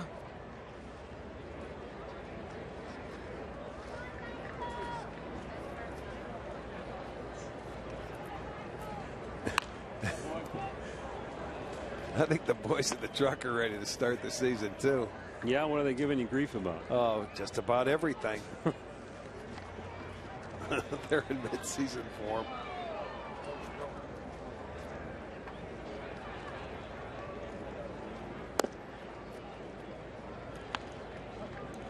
Well, once again, Michael Bourn seeing a lot of pitches. One ball, two strikes. If you're going home with them tomorrow, watch out. I think they have valley fever. Two and two. That pitch missed badly in terms of where Mesoraco wanted it. And here's Bourn back in the count, two and two.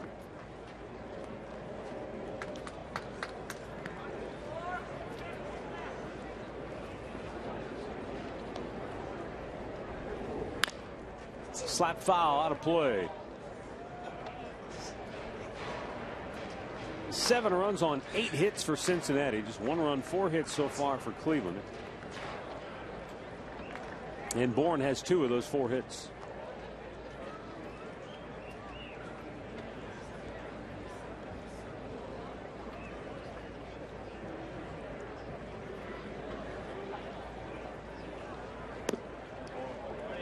Slow, tantalizing off speed pitch just off the plate, and Bourn able to lay off, and it's the 3 2 count now.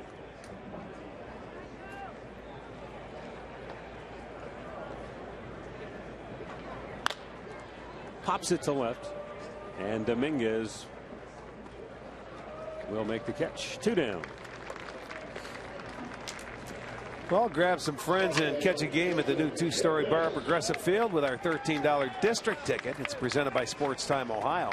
At the new bar, it is the best place in town to grab a cold one. And with the district ticket, your first drink is on us. Matt's going to buy it. If he doesn't, I will. You're all taken care of. Visit Indians.com, district ticket, and check out the details. Nice little. Well, let's hope they need cold like ones Yeah. early, you know? or you can get a hot, hot one, hot toddy. We don't care. It's on us. Swing and a miss. Yeah, you could do uh, what a flaming 151 or something. whatever, whatever it takes.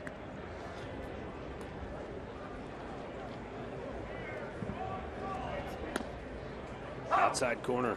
Kipnis admiring, didn't like it. Called a strike. He's down on the count.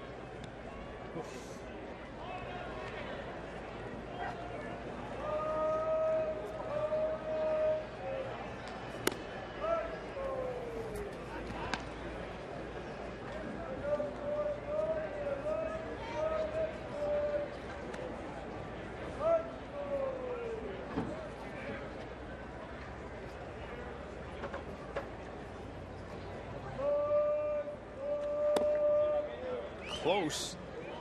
And this call goes Kipnis's way. And we've got a full count.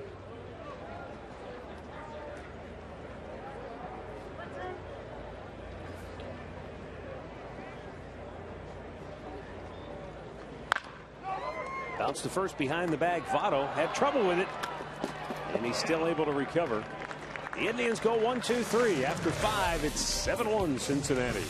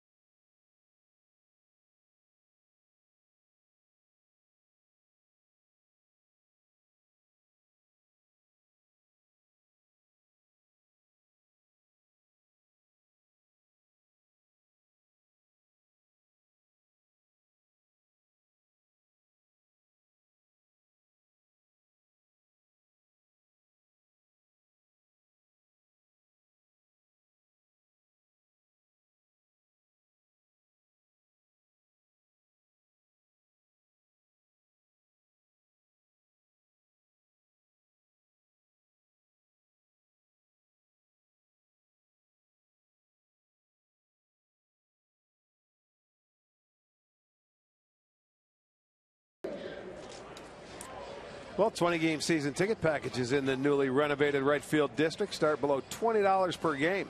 Take in all that's new, including Melt, Barrio, Great Lakes, and more. Plus, get a view of the field.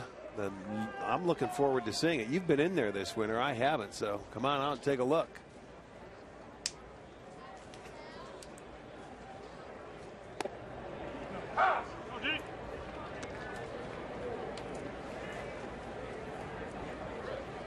Michael Martinez taking over at second base as the Indians implement some defensive changes off the glove of Atchison to third. Barehand grab and throw. Not in time.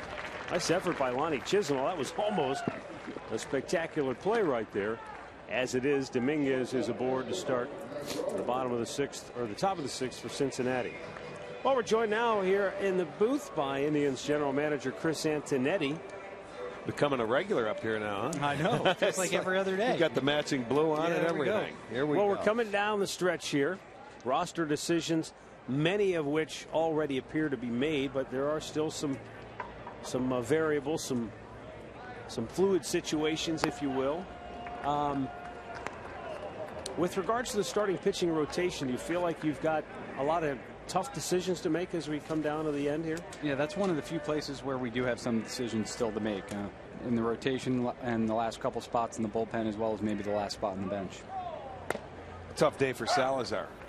Yeah, it was. He was uh, behind in a lot of counts and up in the zone uh, again with his fastball. So I know it's something he's been working hard on to get the ball down. He's done a good job of it in his bullpens. He's just had a difficult time translating consistently in the game. Sometimes it takes a while for young pitchers to just consistently do that. I mean, I, I don't know how you say it, but you watch them, and it seems like it, some one year they can they get better and better and better. I don't know what it takes for a pitcher to go off or the light for, to go off to believe that. Well, a couple things. First and foremost, he's got to make sure that his mechanics are in place to be able to get the ball and leverage it down in the zone, which Danny's done a better job with, but still probably not quite as consistent as it can be. And the other is the mindset and the approach with it, and being able to translate um, the work that he does in the bullpen at 90% intensity and be able to translate it on a game mound at 100% intensity. I did see today he made a couple of good pitches on the outside part of the plate, and then the next pitch he tried to add a little bit more to it. And, you know, you just yeah, you, and then you left get the ball off. up a little right. bit, and that, those are the balls that were hit harder. Danny's got plenty of stuff, obviously, to have a, have success in the major leagues. He just needs to make sure he's locating his fastball down, and then uh, you know using his secondary stuff effectively. With regards to when you have to make the ultimate decision, who's in, who's out, who's going to be on the 25-man roster, etc. How much of that, Chris, do you feel like has to be a consensus decision with your guys, with the coaching staff, and everybody being on the same page, so to speak? That's ideal. Uh, the more consensus you reach on a decision and the more aligned you are, usually makes you feel more confident about it being the right decision. But, um, you know, we recognize we're not going to have unanimous decisions all the time. So, in the end, Tito and I will get together with the coaching staff, take their input, gather their input, gather the input of you know, members of our front office and our scouting staff, and then, you know, make the decision we think is best for the team. Yeah, I mean, is it if it comes down to half the room's one way, half the room's the other. Who casts the deciding vote? Is that you or is it Terry? I mean, how do you? Tito and I. I mean, I can't think of a decision.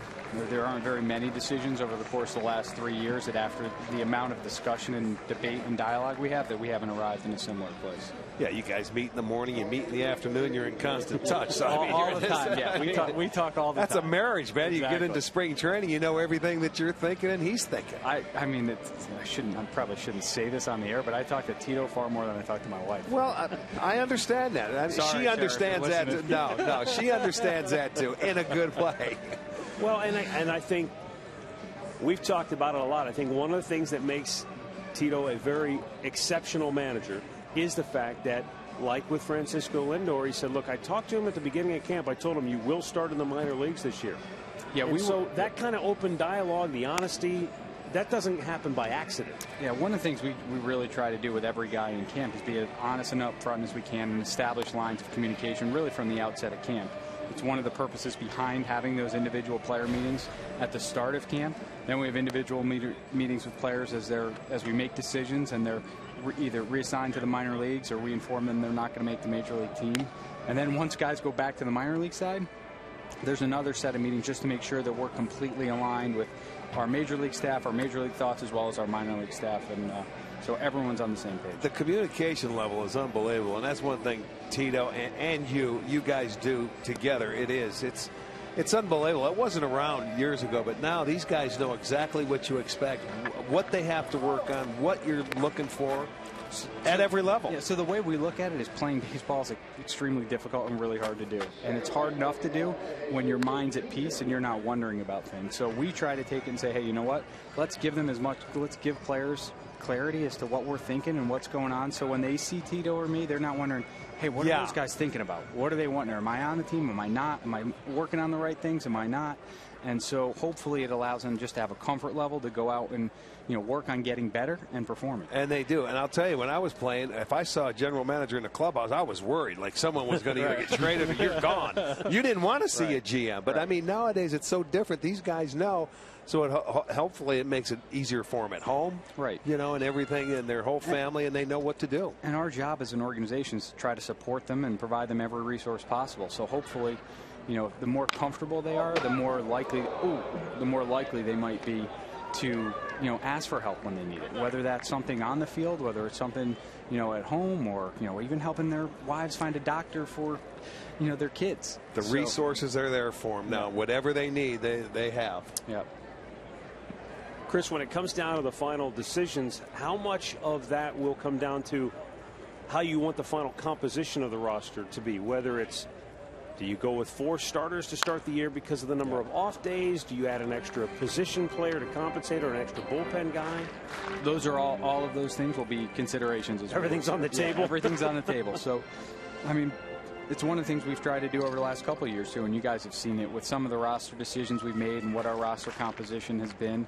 You know, it really depends upon what situates us best to win that series of games, and if you do that over the course of the season and you have to be very honest with players and explaining what we're trying to do because sometimes it necessitates maybe an option to the minor league and recalling a guy 10 or 11 days later when you don't need you know, a starting pitcher for a stretch, but we'll try to do everything we can to, to maximize all those roster spots that we have. You, you got one, Matt? Well, I was going to ask Chris because I don't know if he's a guy that has a chance to make the club out of spring training for a potential extra guy on the bench because, again, I'm not sure how many position players you're going to carry, but Michael Martinez at second base just came in the ballgame. Every time I've seen a ground ball hit in his general direction, he gobbles it up. Yesterday made a terrific short hop pick, threw a guy out at home plate. He's an interesting player, not a star, not a guy people are probably aware of, unless you saw him play with the Pirates maybe, but Where does he fit in the big picture of the organization right now? He's one of those guys. I mean, we made a series of cuts today, and he's he's one of the guys still in camp, still competing for a spot on the roster because you know the, the things you accentuated. He does very well. He's a really good, reliable defensive player. Has versatility, can play a variety of positions, understands the game, has got good baseball instincts, good baseball IQ. So there's a spot for him on a major league team. But now, what our final roster composition will look like will have a big impact on whether or not he's the guy we bring thing I like about it now is when, even though, let's say they don't make this team, they realize that they have things to work on and they're ready. And if they do, they're going to be called up in a matter of time. And, and when they do, they're going to have a chance to impact the team or at least help the team. And that, that's the fun thing that these kids understand now. Here's a couple looks at Michael Martinez that we've seen already this spring. He's got that buggy whip arm. And pretty good. Oh yeah, he made that that play last time we were on television. It's a nice play. You know, it's fun when you see guys make great plays consistently defensively. I mean, it's fun to watch. No question. Right now, Bryan Shaw facing Ivan DeJesus Jr. I beg your pardon. We've got Billy Hamilton. We've already gone up to the top of the order with one out here in the sixth. Arch, piggybacking on your point there, I think that's one of the things we talk about with guys, you know, whether it's the beginning camp or the end. Our opening day isn't going to be the final roster right. for the duration of the season. There are a lot of changes. We are going to need 35, 38, 40 players to impact our major league team over the course of the season. So there are going to be opportunities for guys to come up and contribute. Now, their part of the responsibility is to go down and make sure that they're working on the things. So when that opportunity is there, they're ready to come up and not only just come up to the major leagues, but contribute to a winning environment. Yeah, and the funny thing is, when you watch them come up the first time, they're sort of a little leery at the big league level. But then after they go back down, they get it and all of a sudden they're ready to come up and they're not as intimidated anymore and they're ready to do whatever is asked. That was Jose Ramirez last year. The first right. time he came up, you know, maybe offensively was a little unsettled, wasn't sure his place, and um, maybe I'm not intimidated with Jose is not the right word, but just trying to feel his way. And then when he but came back, the, yeah, when he came back the second time, he was a much different player and, and Tito, much more confident player. At that point in time, really hadn't had a chance to see him play short a whole lot. Right. Yep. And he said, he said to me, I don't know if this guy can play short or he can't, but he found out in a hurry he can. He can. He's he's really done a good job. Jose deserves a lot of credit. Where he got most of his opportunities in the minor leagues at second base, when we gave him the opportunity to go over and play shortstop, he took it and ran with it. And uh, he's a really good baseball player with good IQ and uh, may not get his fair share of credit.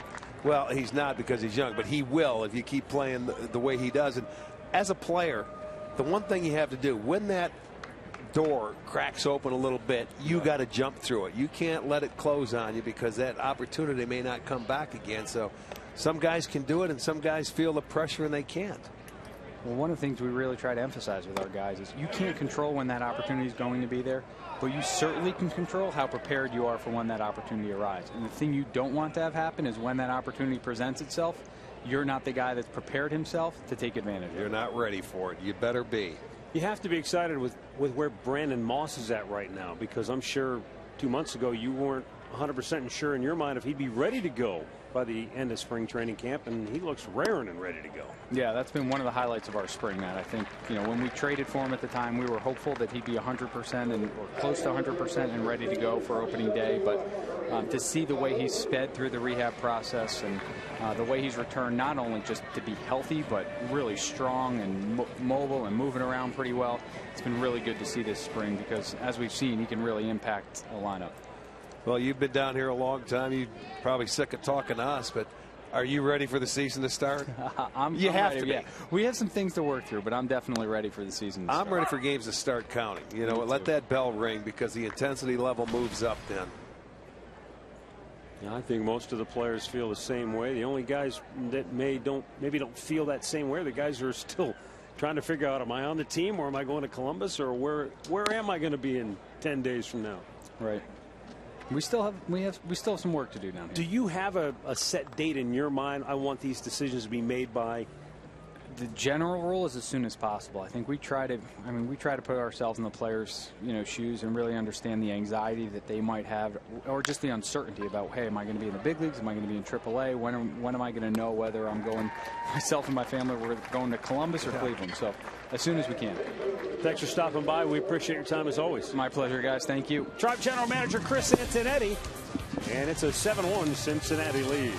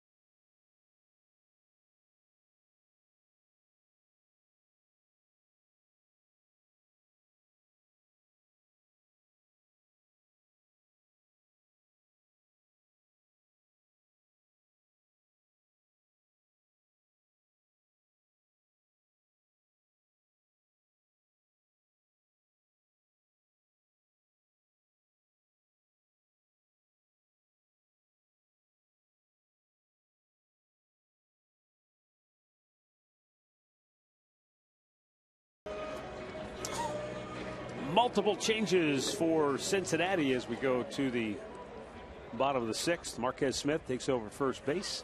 Luis Gonzalez is at second base. David Murphy takes a strike. He's 0 for 2. Irving Falu is now at third.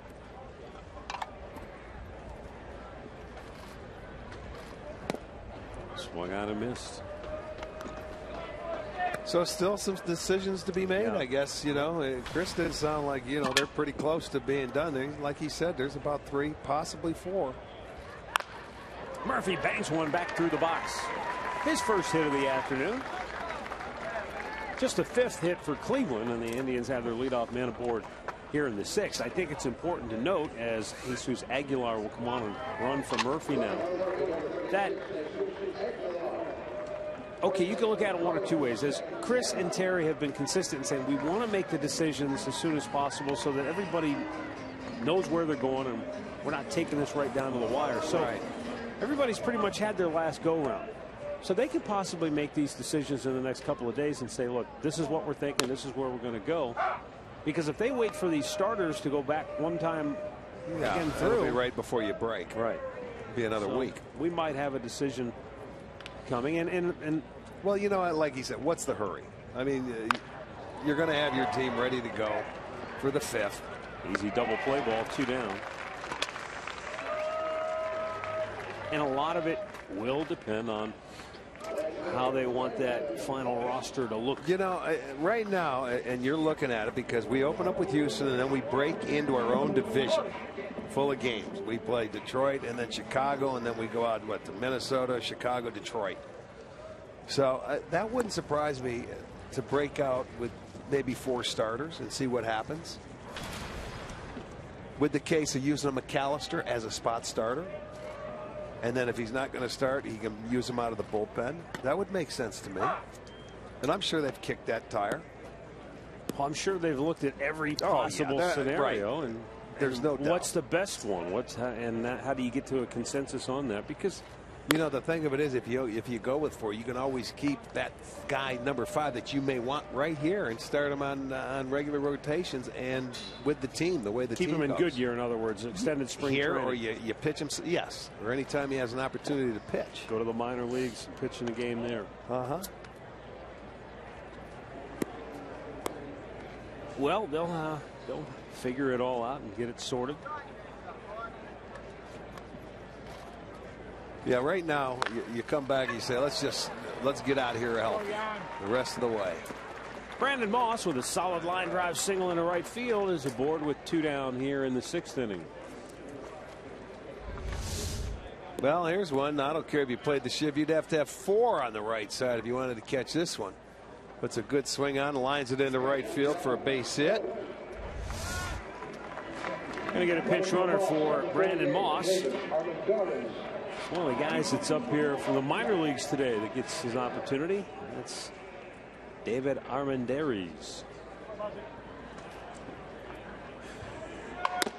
And a fastball strike to Yan Gomes.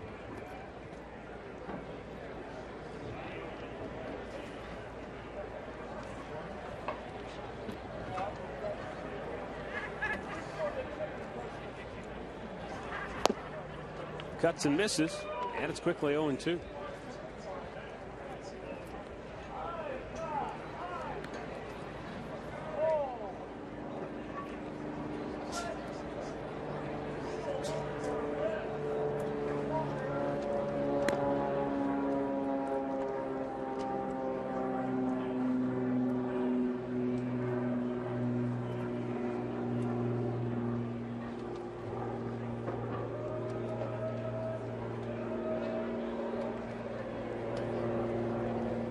Hit him. Gomes is aboard. Two on with two out here in the sixth. During the regular season, that's something you would probably expect. If you, one team gets a couple of guys hit by a pitch, there's always a chance that one of your guys is going to get plunked as well. And then there are some managers who might even carry that into a spring training game as well. Lonnie Chisenhall 0 for 2, and a pitch is over the outside corner for a strike.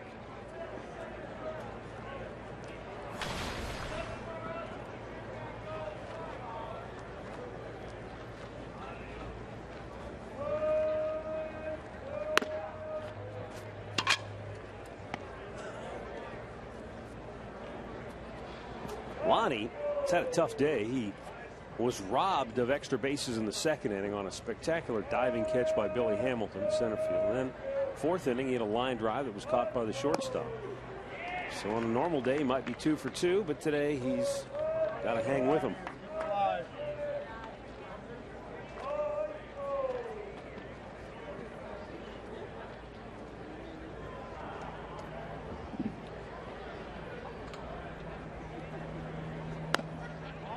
Okay. Maholm, he thought he both breaking balls uh, out of the last three pitches he thought hit. One was inside, one was away, and he's walking off the mound. Where was that pitch? You want to talk about down the middle? Are you serious? we, remember the last game we did? It, we couldn't get the game to end because they wouldn't call a strike. It was. I, I mean, I really don't know how you can't call that one a strike. Well, that all ends it. No runs, two hits. Indians leave two. We go to the seventh, 7 1 Reds.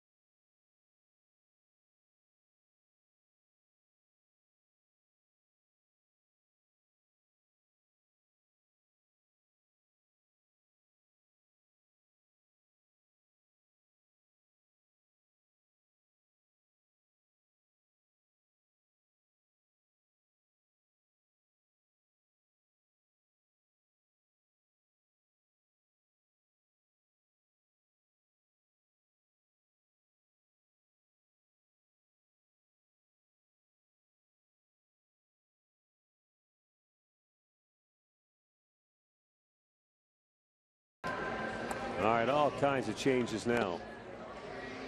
This is definitely one of those games where you need a program. Brett Hayes is taking over behind the plate. Jerry Sands is now at first base. Ryan Rohlinger is taking over for Lonnie Chisenhall at third.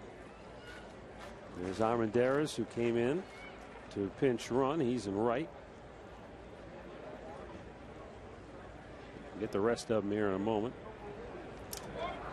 Josh McAdams is in left field.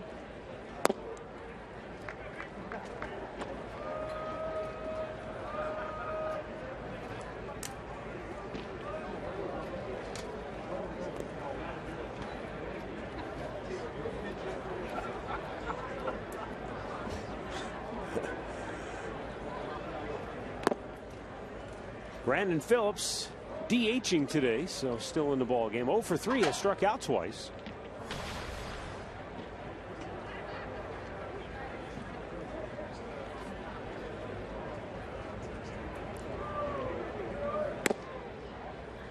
That was a good looking pitch.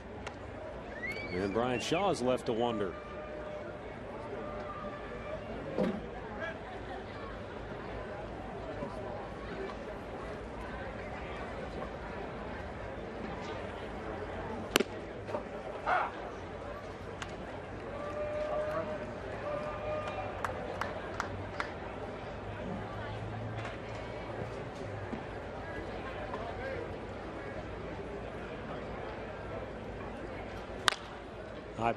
Slicing out a plate on the right side.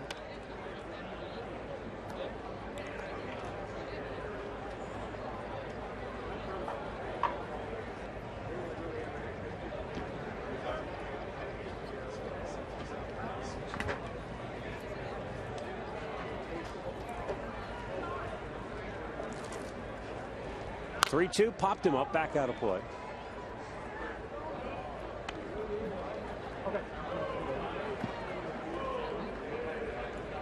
As fans are aware of or maybe not aware we have Andre Knott part of our team this year. He'll be with us every game reporting from on the field and in the clubhouse before and after the ball game.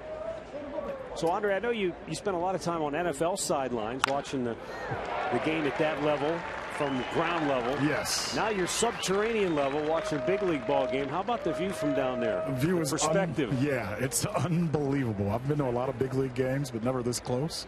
And I can tell you, in football, the first time I did an NFL game, I'll never forget. My dad called me afterwards. He goes, "If you don't move, you're going to get killed." well, if you don't watch every pitch down here, I'm going to get killed. it's about the same thing. The speed and the, the accuracy and the, the rate, the how hard the ball is going around. It's unbelievable watching it from well, down here. It really is. You did an interview with Sandy Alomar. You might want to ask him for a face mask and shin guards. I think he'd be happy to give you some. That might not be the only part of equipment I might ask for. I'll lend you a cup. Don't you worry. I got a little plastic one up here. I'm going to be done with after today. I will talk about that one off the air. about that? But it, it, it, actually is. It gives you a greater respect for what these guys do out here on this field when you're this close and seeing uh, whether it's the pitchers, whether it's just a shortstop throwing the ball from short to first. It is amazing to watch just the difference from sitting up there where you guys are to being down here. Well, and Andre, the, the thing that I've always found fascinating about Major League Baseball is that Buddy Bell once told me that of all the professional sports, when the ball is put in play, baseball is the fastest game of all of them. Wow. That's a good point. That's a great point. You know, the other thing about big league baseball, and you guys know this, is these guys make it look easy. Oh, yeah. you know, when you sit up there or you watch on television or whatever, it looks like, ah, you hit the ball 300 feet.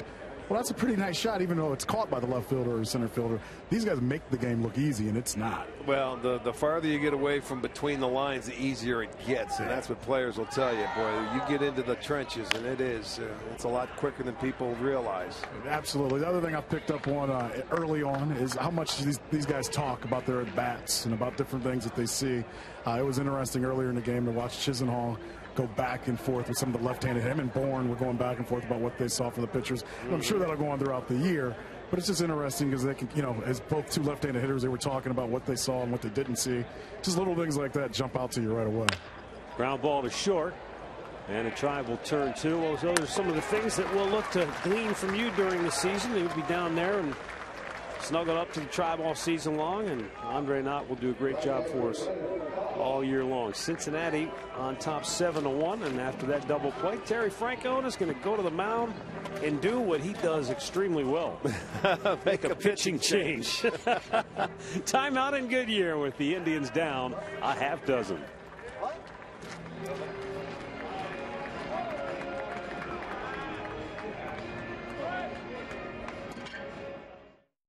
I'm outside. Where are you?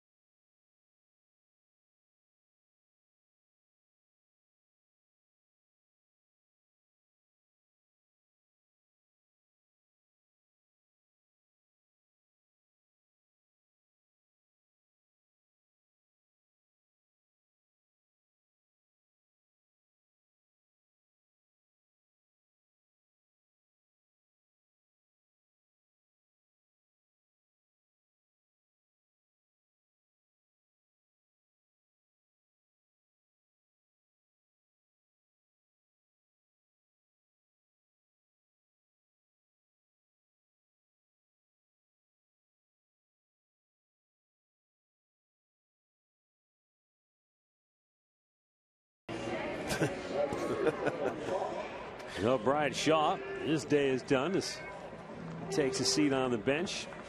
And now Jeff Manship will take over with two down. And the base is empty here in the seventh.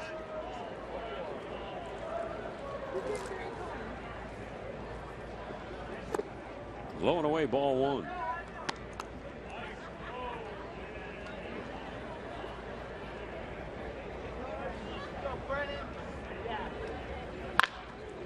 Hot smash into right field.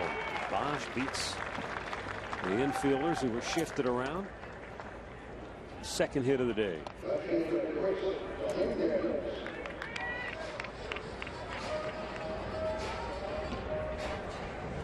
Chris Dominguez, who has two hits and has scored a run, will be the batter now.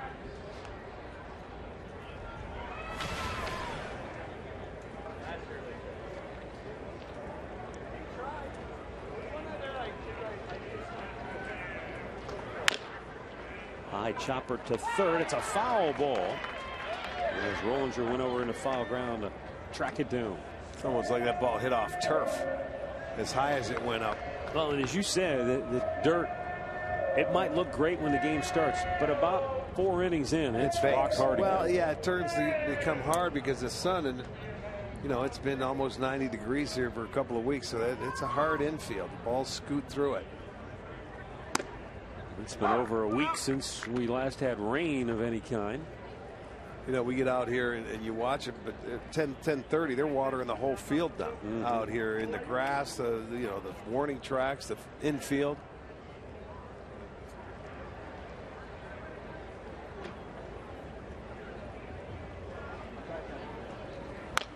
Foul back to the screen.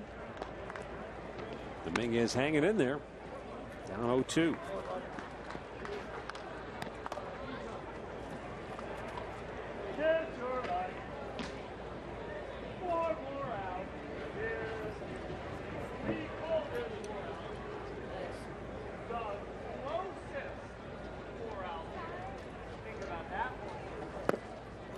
Down low.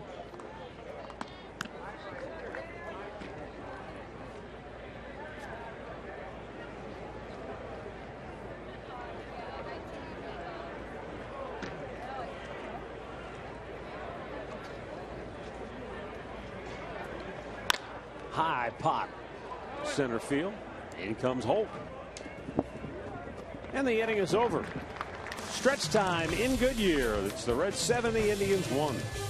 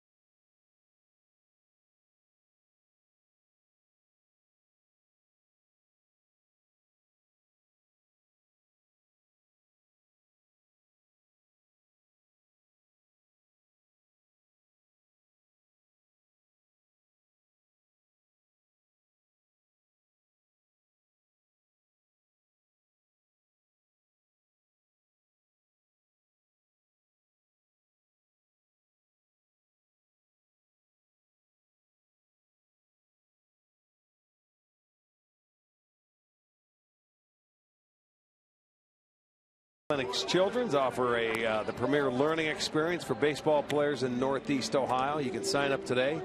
Let the professionals teach your child the Indians way to play the game. Go to Indians.com. J.J. Hoover on to pitch now for Cincinnati. Last year in 54 games, took his lumps with 10 losses. He'll be facing the 8, 9, and leadoff spots in the Indians order. That number 8 spot is now manned by Josh McAdams.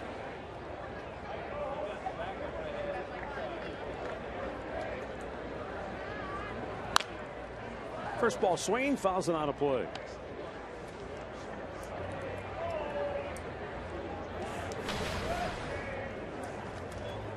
McAdams last year former seventh round pick in 12. Low and away. One on one to count.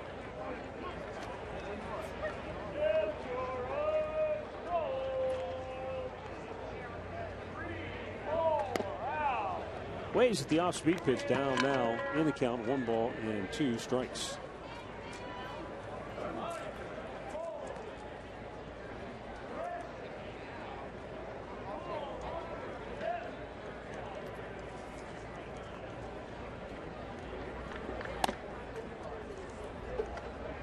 Adams out of Calhoun, Georgia.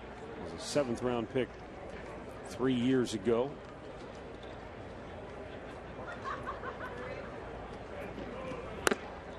Strike three called. One away.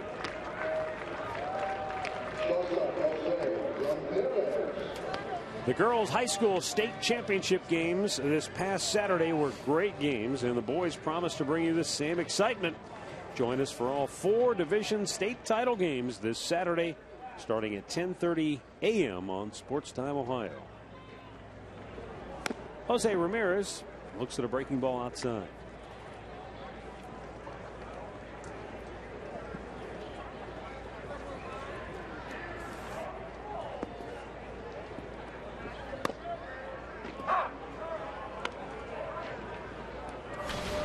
One and one to count. 0 for 2 today for Ramirez.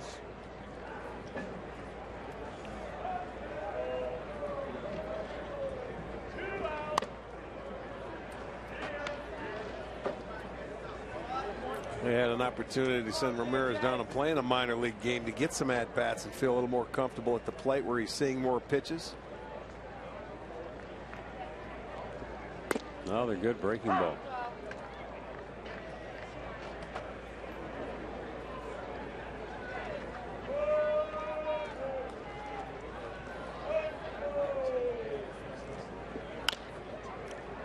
Back out of play.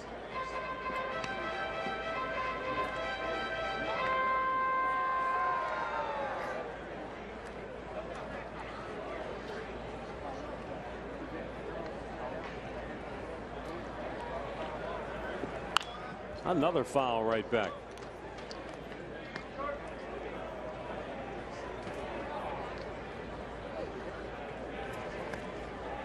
Just over 4,100 here today in Goodyear for this Indians Reds matchup. The 2 2 in the air to center. Two down.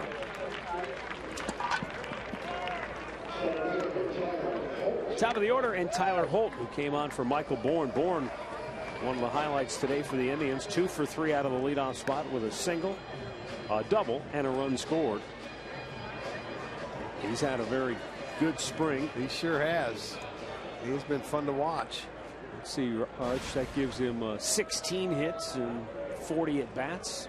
He's probably saying, let's go now. Yeah. Because, you know, Houston, his hometown, where he grew up. So he'll be going home to open the season.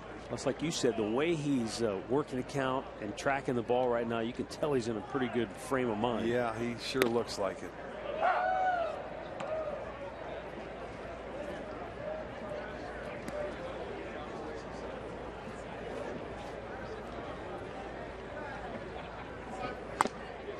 Holt trying to go hold up? Yes. He did not go around. He was able to hold the bat back.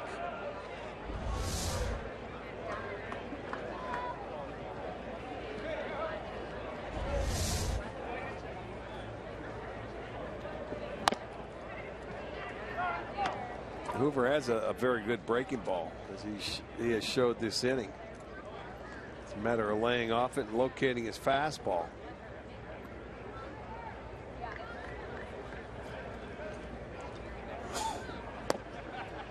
He lays off that breaking ball.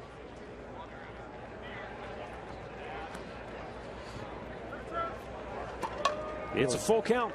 The Indians will get the Reds two weekends this year. Get back to normal where we when we started interleague play. Low ball four, two out walk keeps the inning alive. And here's Michael Martinez.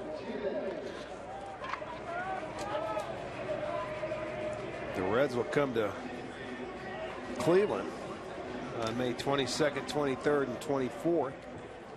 And then the Indians will head to Cincinnati right after the All Star break. And that's where the All Star game is going to be this year, is in Cincinnati. So we'll open it up right after the break. Little jam job slowly rolled to second base. Inning over. We'll go to the eighth.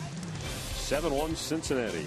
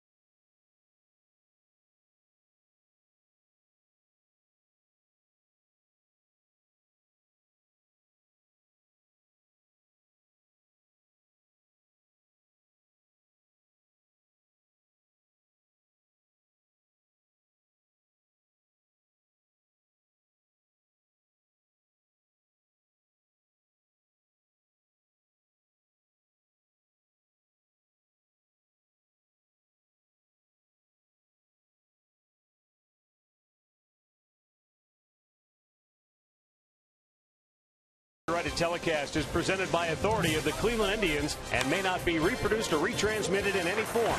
And the accounts and descriptions of this game may not be disseminated without the express written consent of the Cleveland Indians.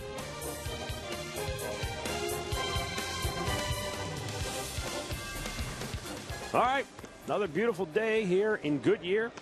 Cincinnati having most of the fun, though, here with a 7 1 lead. Yeah, happened early and often. One in the first, four in the second, and two in the fourth. Toru Murata will get the uh, ball now for Cleveland.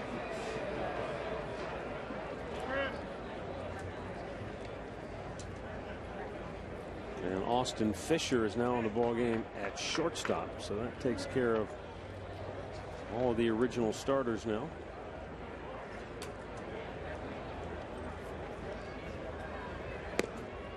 Over the outside corner for a strike.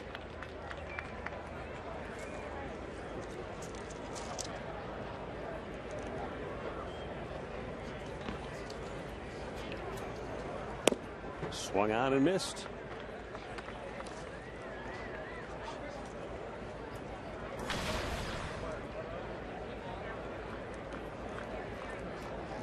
Murata was born in Osaka, Japan.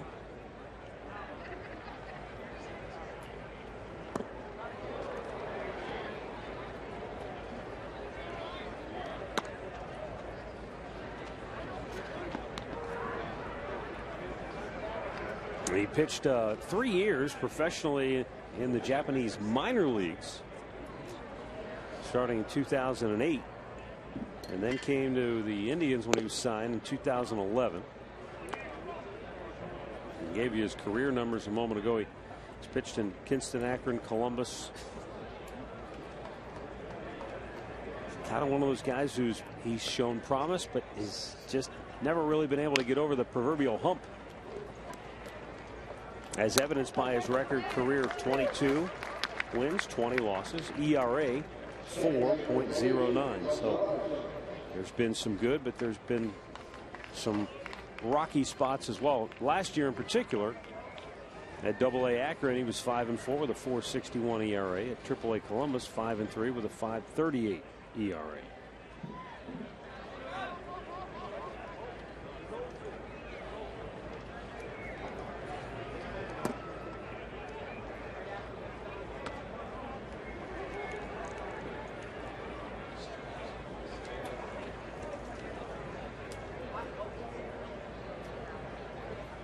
That ball's hit high in the air. Deep left center field. Holt back on the track, and it is off the wall.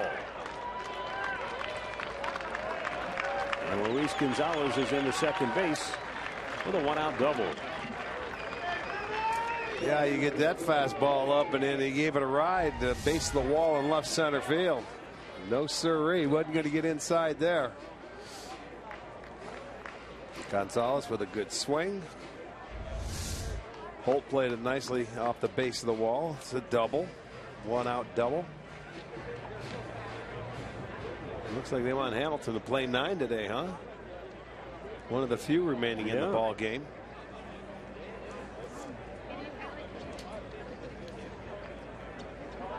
Murata delivers, and Hamilton hits it right back to him. Murata has the runner held up. He did a terrific job. Gives it up. Just run it all the way back. There you And go. they tag him out. Boy, that was well played by Murata to get the out two down.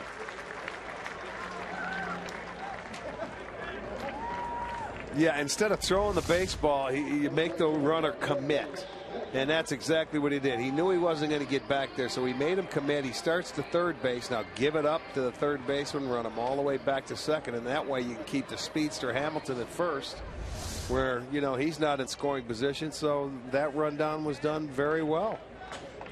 Like so many of the Japanese pitchers we have seen come to Major League Baseball over the years, Murata well schooled on the fundamentals, as well as you don't see it here out of the stretch, but when he's in the windup, he's got that little pause right at the top of his delivery.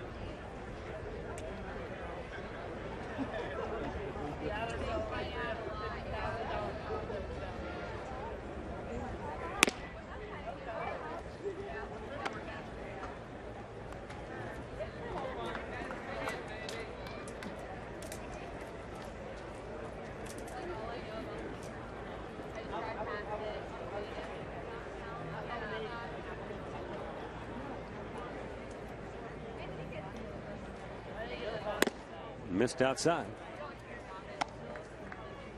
Two balls and two strikes.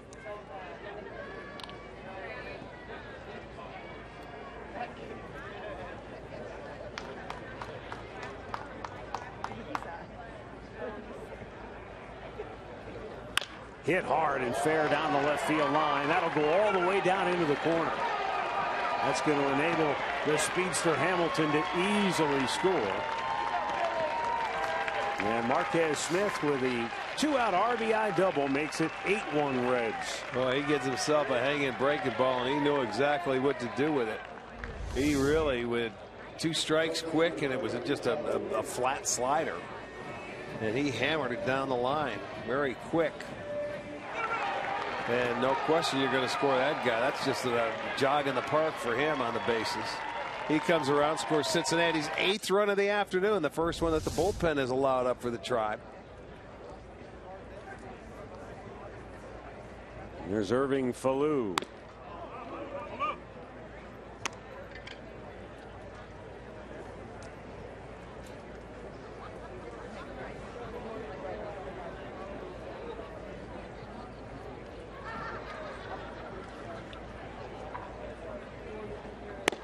And Murata's pitch low.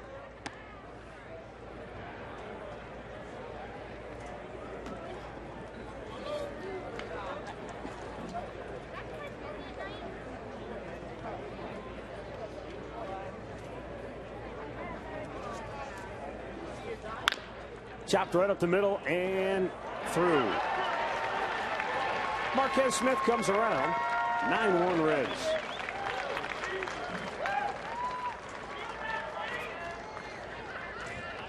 Third hit in the inning allowed by Murata.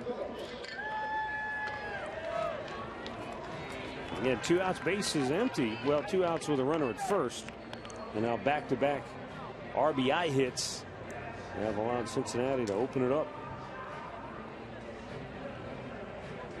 Brandon Phillips 0 for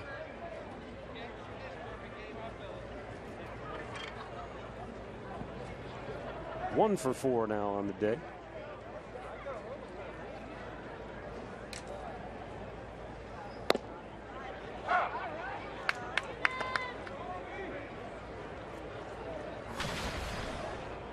Scorecard's pretty much a disaster right Uh, now. that's okay. You can burn it when you leave here.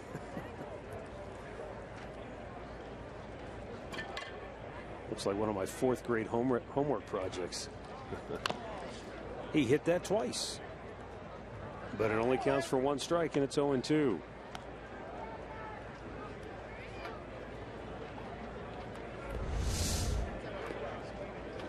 There's a foul there and a foul there. yeah, good follow through.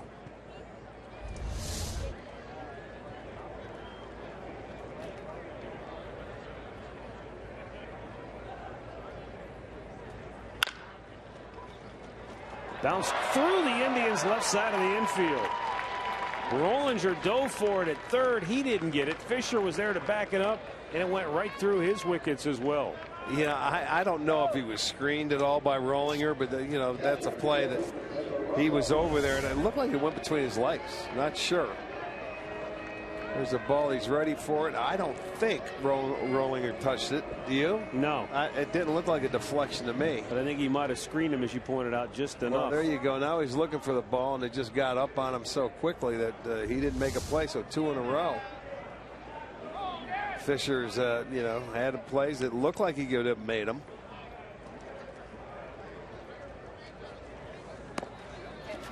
Devin Mesoraco still in there for Cincinnati. Got two hits, including a solo home run.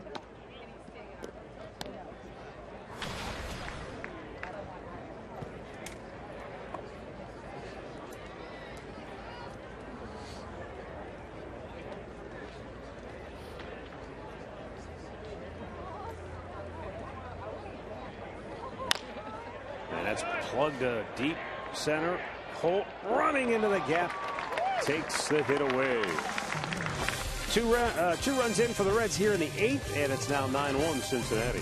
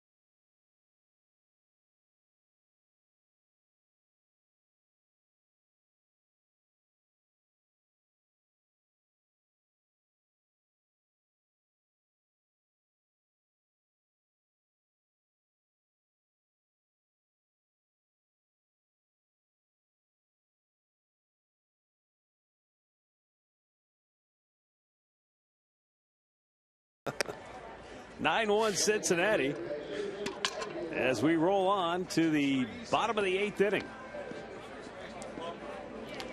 New pitcher for Cincinnati. Nate Adcock last year with the Texas Rangers appearing in just seven games, an ERA of four and a half. He'll be on here to face the three, four, five spots for Cleveland. Jesus Aguilar going to lead it off. Then Jerry Sands.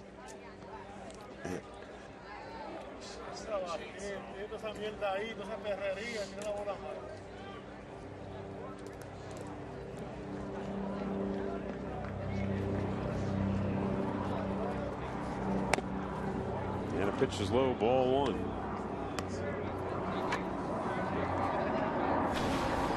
We've seen Adcock in uh, in the past pitching for Kansas City. Guy who could make a couple of spot starts here and there, but primarily has pitched out of the bullpen.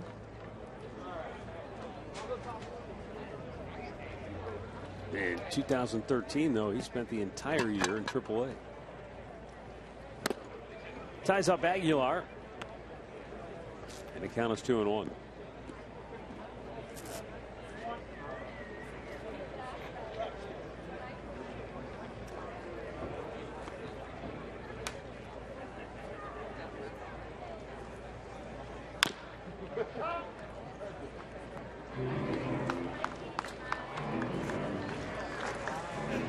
Jesus Aguilar this spring has been a different guy than the one we saw a year ago. He's batted 375. Aaron Francona feels like he just guy who feels a, a, little more comfortable. He said last year he was very respectful, but he was very quiet. Never really came out of his shell. And he said that's not the the report you get on him because when he's in the minor leagues, he's the man. Everybody wants to go and talk to him when they're when they go to a different city and play another team. All their players want to come over and talk to the big man. But he said when he was up with the Indians last year, even in big league camp, he was very quiet. Yeah. Knew his place, which is, I think, that's a smart play when you're the young guy. Yes. But Terry said, I want to see more of his personality. Well, there's a swing and a miss, and that's out number one here in the bottom of the eighth inning. Let's go back down to Andre. Andre, this is an interesting guy coming to the plate now, Jerry Sands. He's 27 years old. He's, he's been around with a couple of different organizations, but uh, he's a right handed bat, which is something the tribe has been desperate to look for. And interesting to see if maybe there's a fit. Absolutely. Not only is he a right-handed bat, Matt, but guys, he has some power. He hit the shot of spring probably Tuesday night, where he hit a 480-foot bomb to center field uh, on Tuesday night. And the thing is, as you said, he hits from the right-hand side. He's got some major league experience. He probably won't leave here with the ball club. But you know, this is one of those guys. You know, Arch, you've talked about it throughout the, the, the afternoon. This is a guy that you may see with the Indians come May, come June, July, that maybe can give this team some right-handed pop, can play first base, can play outfield. Uh, just a fun guy to watch so far this spring. Two doubles, two home runs already so far. Yeah, I think he has opened some eyes, and, and, and they realize that you know he's in his mid to, to upper 20s, but he's a right-handed bat, and he's had a pretty good spring. But again, he falls into that category: first baseman, outfielder, DH, and the Indians have enough of those guys right now. So that's probably uh, you know blocking his way. But I'll tell you what, being a right-handed bat and, and showing some pop certainly helps. 0-2 pitch. Well, he's had a couple of years, and granted, it was in the minor leagues, and granted, it was in Albuquerque, New Mexico, where the ball tends to travel a little bit. 29 homers, 26 homers, 107 ribbies, 88 ribbies. So you see, yeah, I mean that's that's still a good year no matter where you play.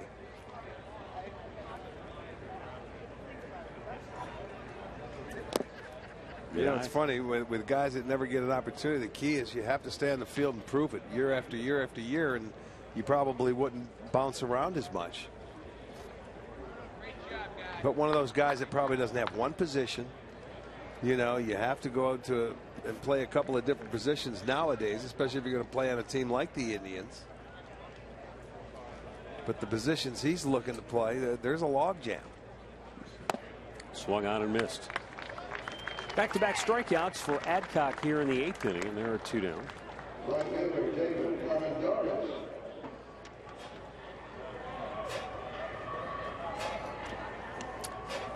David Armendariz will get an at bat here with two down.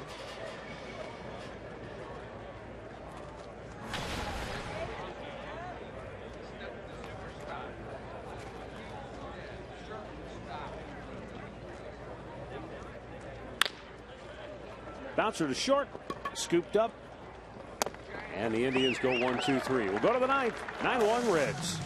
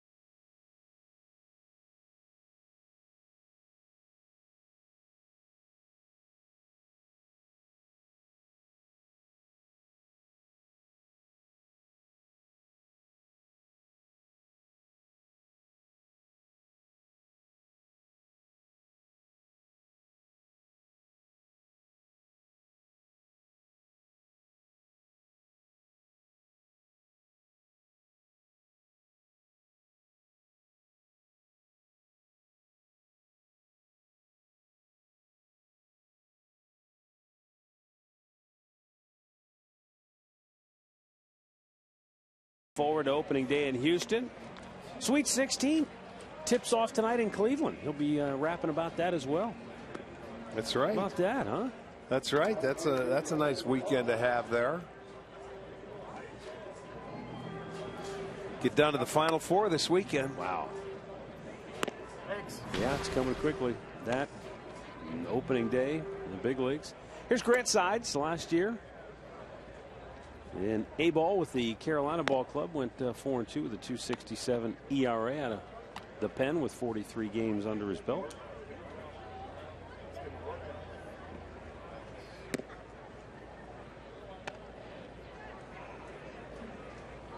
It's an opportunity for a lot of these young guys to A, pitch in a big league spring training game in the stadium. Also, more importantly, an opportunity them, for them to perform in front of the big league skipper and coaching staff. And it's it's funny. It's it's always been interesting to me that you think about when you're a young kid. You're just out there flying around 100 miles an hour. The world's spinning fast, and you're just trying to survive, right? But what the manager, what the coaches, uh, and what the front office guys, what they're looking for is they're not going to look at your stat line. They're watching for how do you handle the moment? How do you handle yourself? Uh, are you a spoiled brat out there? Are you kicking the dirt, throwing your helmet? Are you a pro? I mean, they're they're looking for so many things that when you're 18, 19, 20 years old, you're not even thinking about probably. Well, the intangibles, and it's not letting the game speed up on you. It's where how, how can you slow it down? You know, and believe me, you can spot that with kids. Are they nervous? How they handle the situation? How they attack? If you're a pitcher, do you throw strikes and just go out there and be aggressive and don't you don't care who you're facing? Hey, it's a big deal for these kids to get an opportunity to come in and pitch at the big league level. I don't care if it's a spring training game or not because it's a dream come true. It's something you've dreamed about your whole life. Fouled right back by Boesch, who's a big league hitter without a doubt. He's had a lot of time at the major league level, and he can swing it. He's two for four on the day with a run scored. So for Grant Sides, big opportunity. He's a big kid at 6'4", 215 pounds out of Samford University. 12th round pick of the Indians back in 2011. Popped him up. Rohlinger calling for it. And he's got it one away. Danny Salazar started this game for the Indians. Struck out the side in the first inning, but also gave up that home run to Todd Frazier. Things did not get better in the second inning. Surrendered a home run to Devin Mesoraco and then three more runs.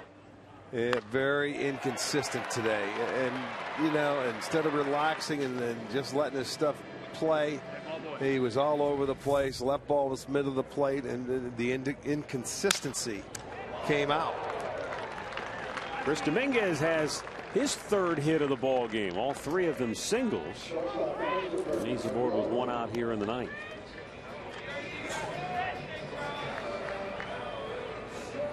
Well, at the end of the day, Danny Salazar's line was three and a third innings with seven runs on six hits. Oh, we got a, an Indian and a red. Oh, oh, he squirted him. I hope that was water. uh oh. Down goes Jay Bruce. There's another red. He goes on the DL. Holy smokes. They start at a young age, boy. rivalry for the Ohio Cup. There's a base hit in the right field as Dominguez stops at second. And now back to back hits here in the ninth. We had the Indian drawing first blood in that one. Kristopher Negron has that's his first hit of the day, but he was hit by pitches twice by Danny Salazar uh -huh. and came around to score both times earlier. Danny did not walk a batter today. He struck out six, but again, the, the two hit batters both came around to score and just the the level of consistency uh, consistency that they were looking for, hoping for, was not there today.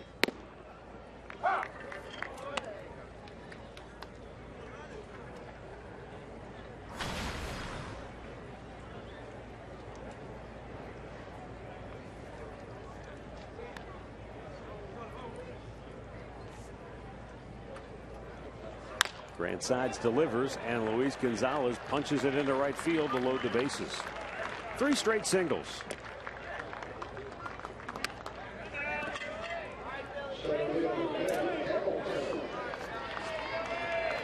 And now we go to the top of the order and Billy Hamilton.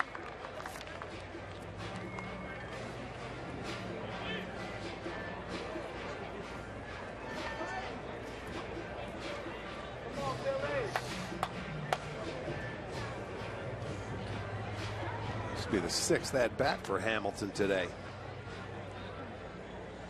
Yeah, he's got a couple of hits, a double, two runs scored, an RBI. He's also struck out twice.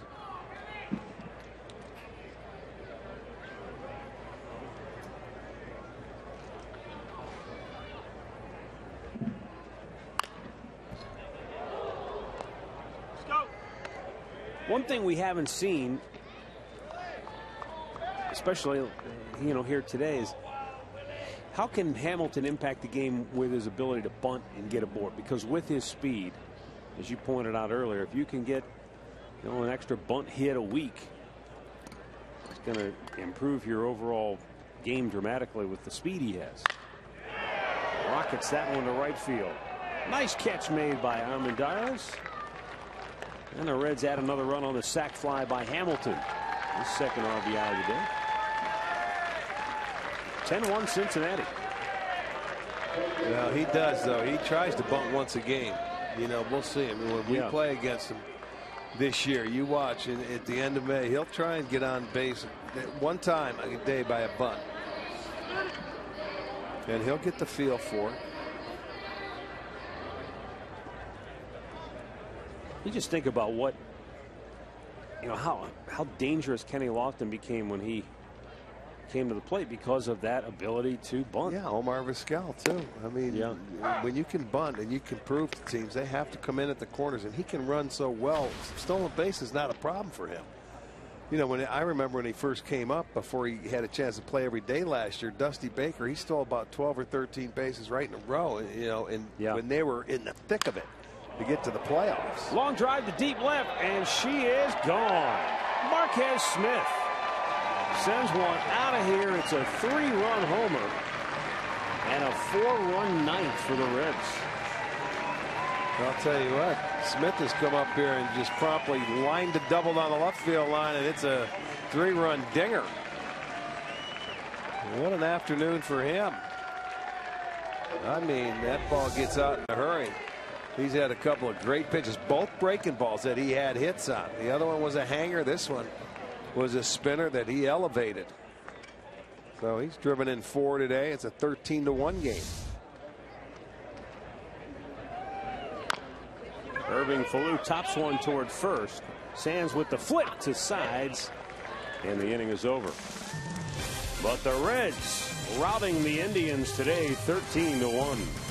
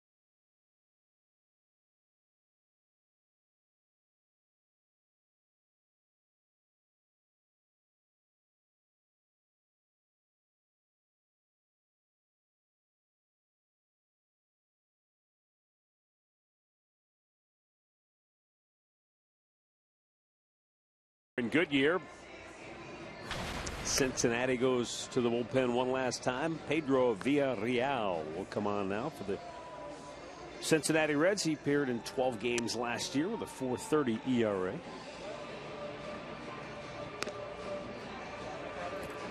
Well, in a 13 to 1 ball game, there's not a lot of highlights usually for the team that only has one. But Michael Bourn was a bright spot for the Indians early on. Two hits, uh, scored a run really is a running well, Rick, and swinging the bat well and seeing the ball. A couple of good catches well. out in the outfield, and uh, yeah, he looks uh, he looks really ready to go. Let's put it that way. Like as as Francona said today, his legs are under him. He looks like they're they're strong again, and let's hope that that lasts because a healthy Michael Bourn could have an impact on this offense for the Indians. Yeah, last year he just never seemed to be right. And I don't know if it was just an extension from the hamstring injury at the end of the previous season that yes. lingered and carried over or what, but he put in a lot of hard work in the offseason. And at his age and with the time he has in the game, that's uh, admirable to know that he he's not just mailing it in. He, he wants he wants to still be a force in the game and, and can be. Let's face it, it you know, if you've got a dynamic base stealer, we were just talking about this the other night. Remember in 05 when the White Sox went out and got Scott Podsednik? It Yeah. changed the dynamic of their club because every time he was on base, he was on He was second threat base to run. Yeah. And it's not that where Bourn has to steal every time he gets on. That's not necessarily the case. But he has to run a little bit more than he has the last couple of years because of leg problems to set the table. Brett Hayes lines a base hit in the right field.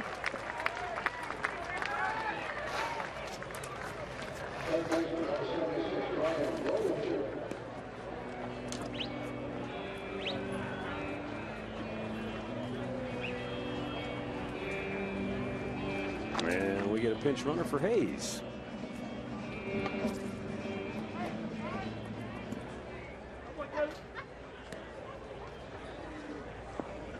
And that looks like Jeremy Lucas, who's come into the ball game now to run for Brett Hayes.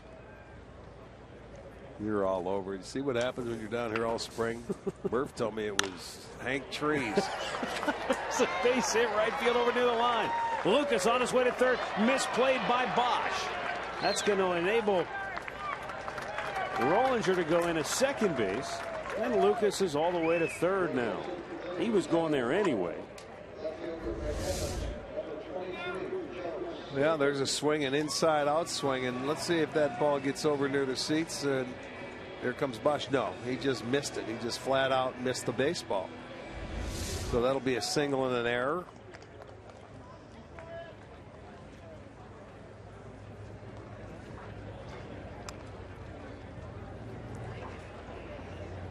Joe Seaver.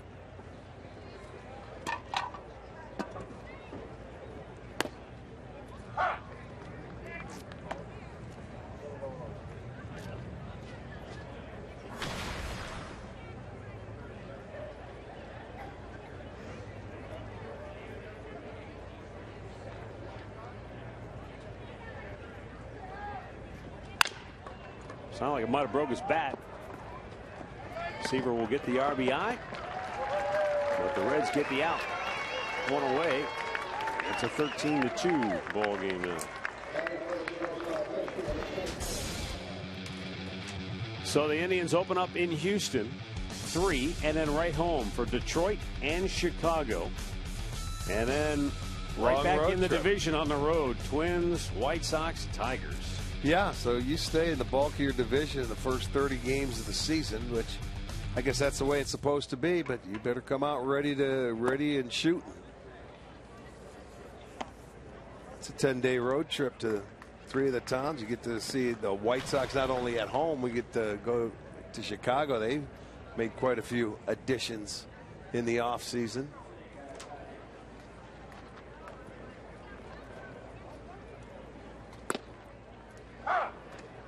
And you know, Minnesota is going to be Minnesota. They're going to play for 27 outs and play you hard under the new manager, Paul Molitor. Look, What kind of an impact do you expect Mahler to, Molitor to have in his first year? You know, I think uh, for the young kids that the Twins have, I think that, uh, you know, how can't you listen to a guy you think a Hall of Famer when he's going to tell you something, the kind of player he was. And I mean, they know him because he was in their minor league system. It's not like he's just coming up, putting on a uniform, and you know, hey, here it is. He he's been around there, and uh, he knows all those kids, and the Minnesota system. So, it's it's got to have an impact, I would think.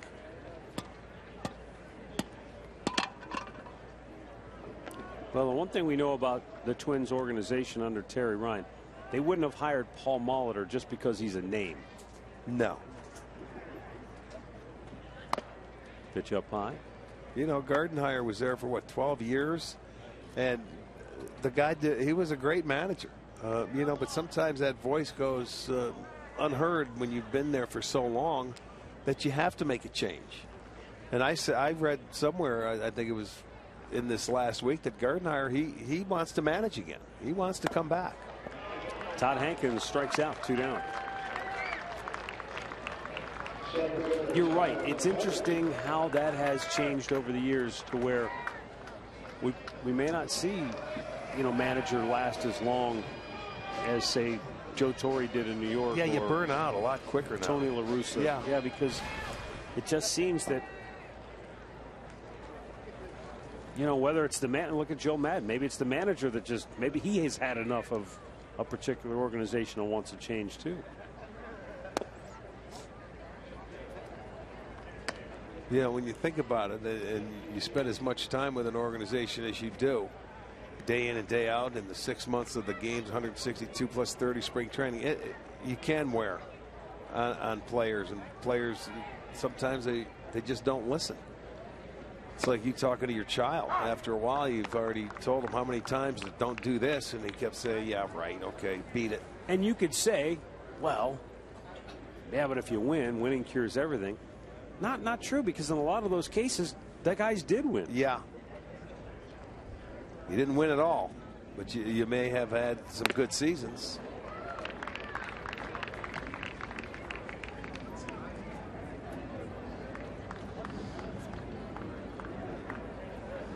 Indians batting here in the bottom of the ninth, down 13 to 2. Tyler Holt at the plate.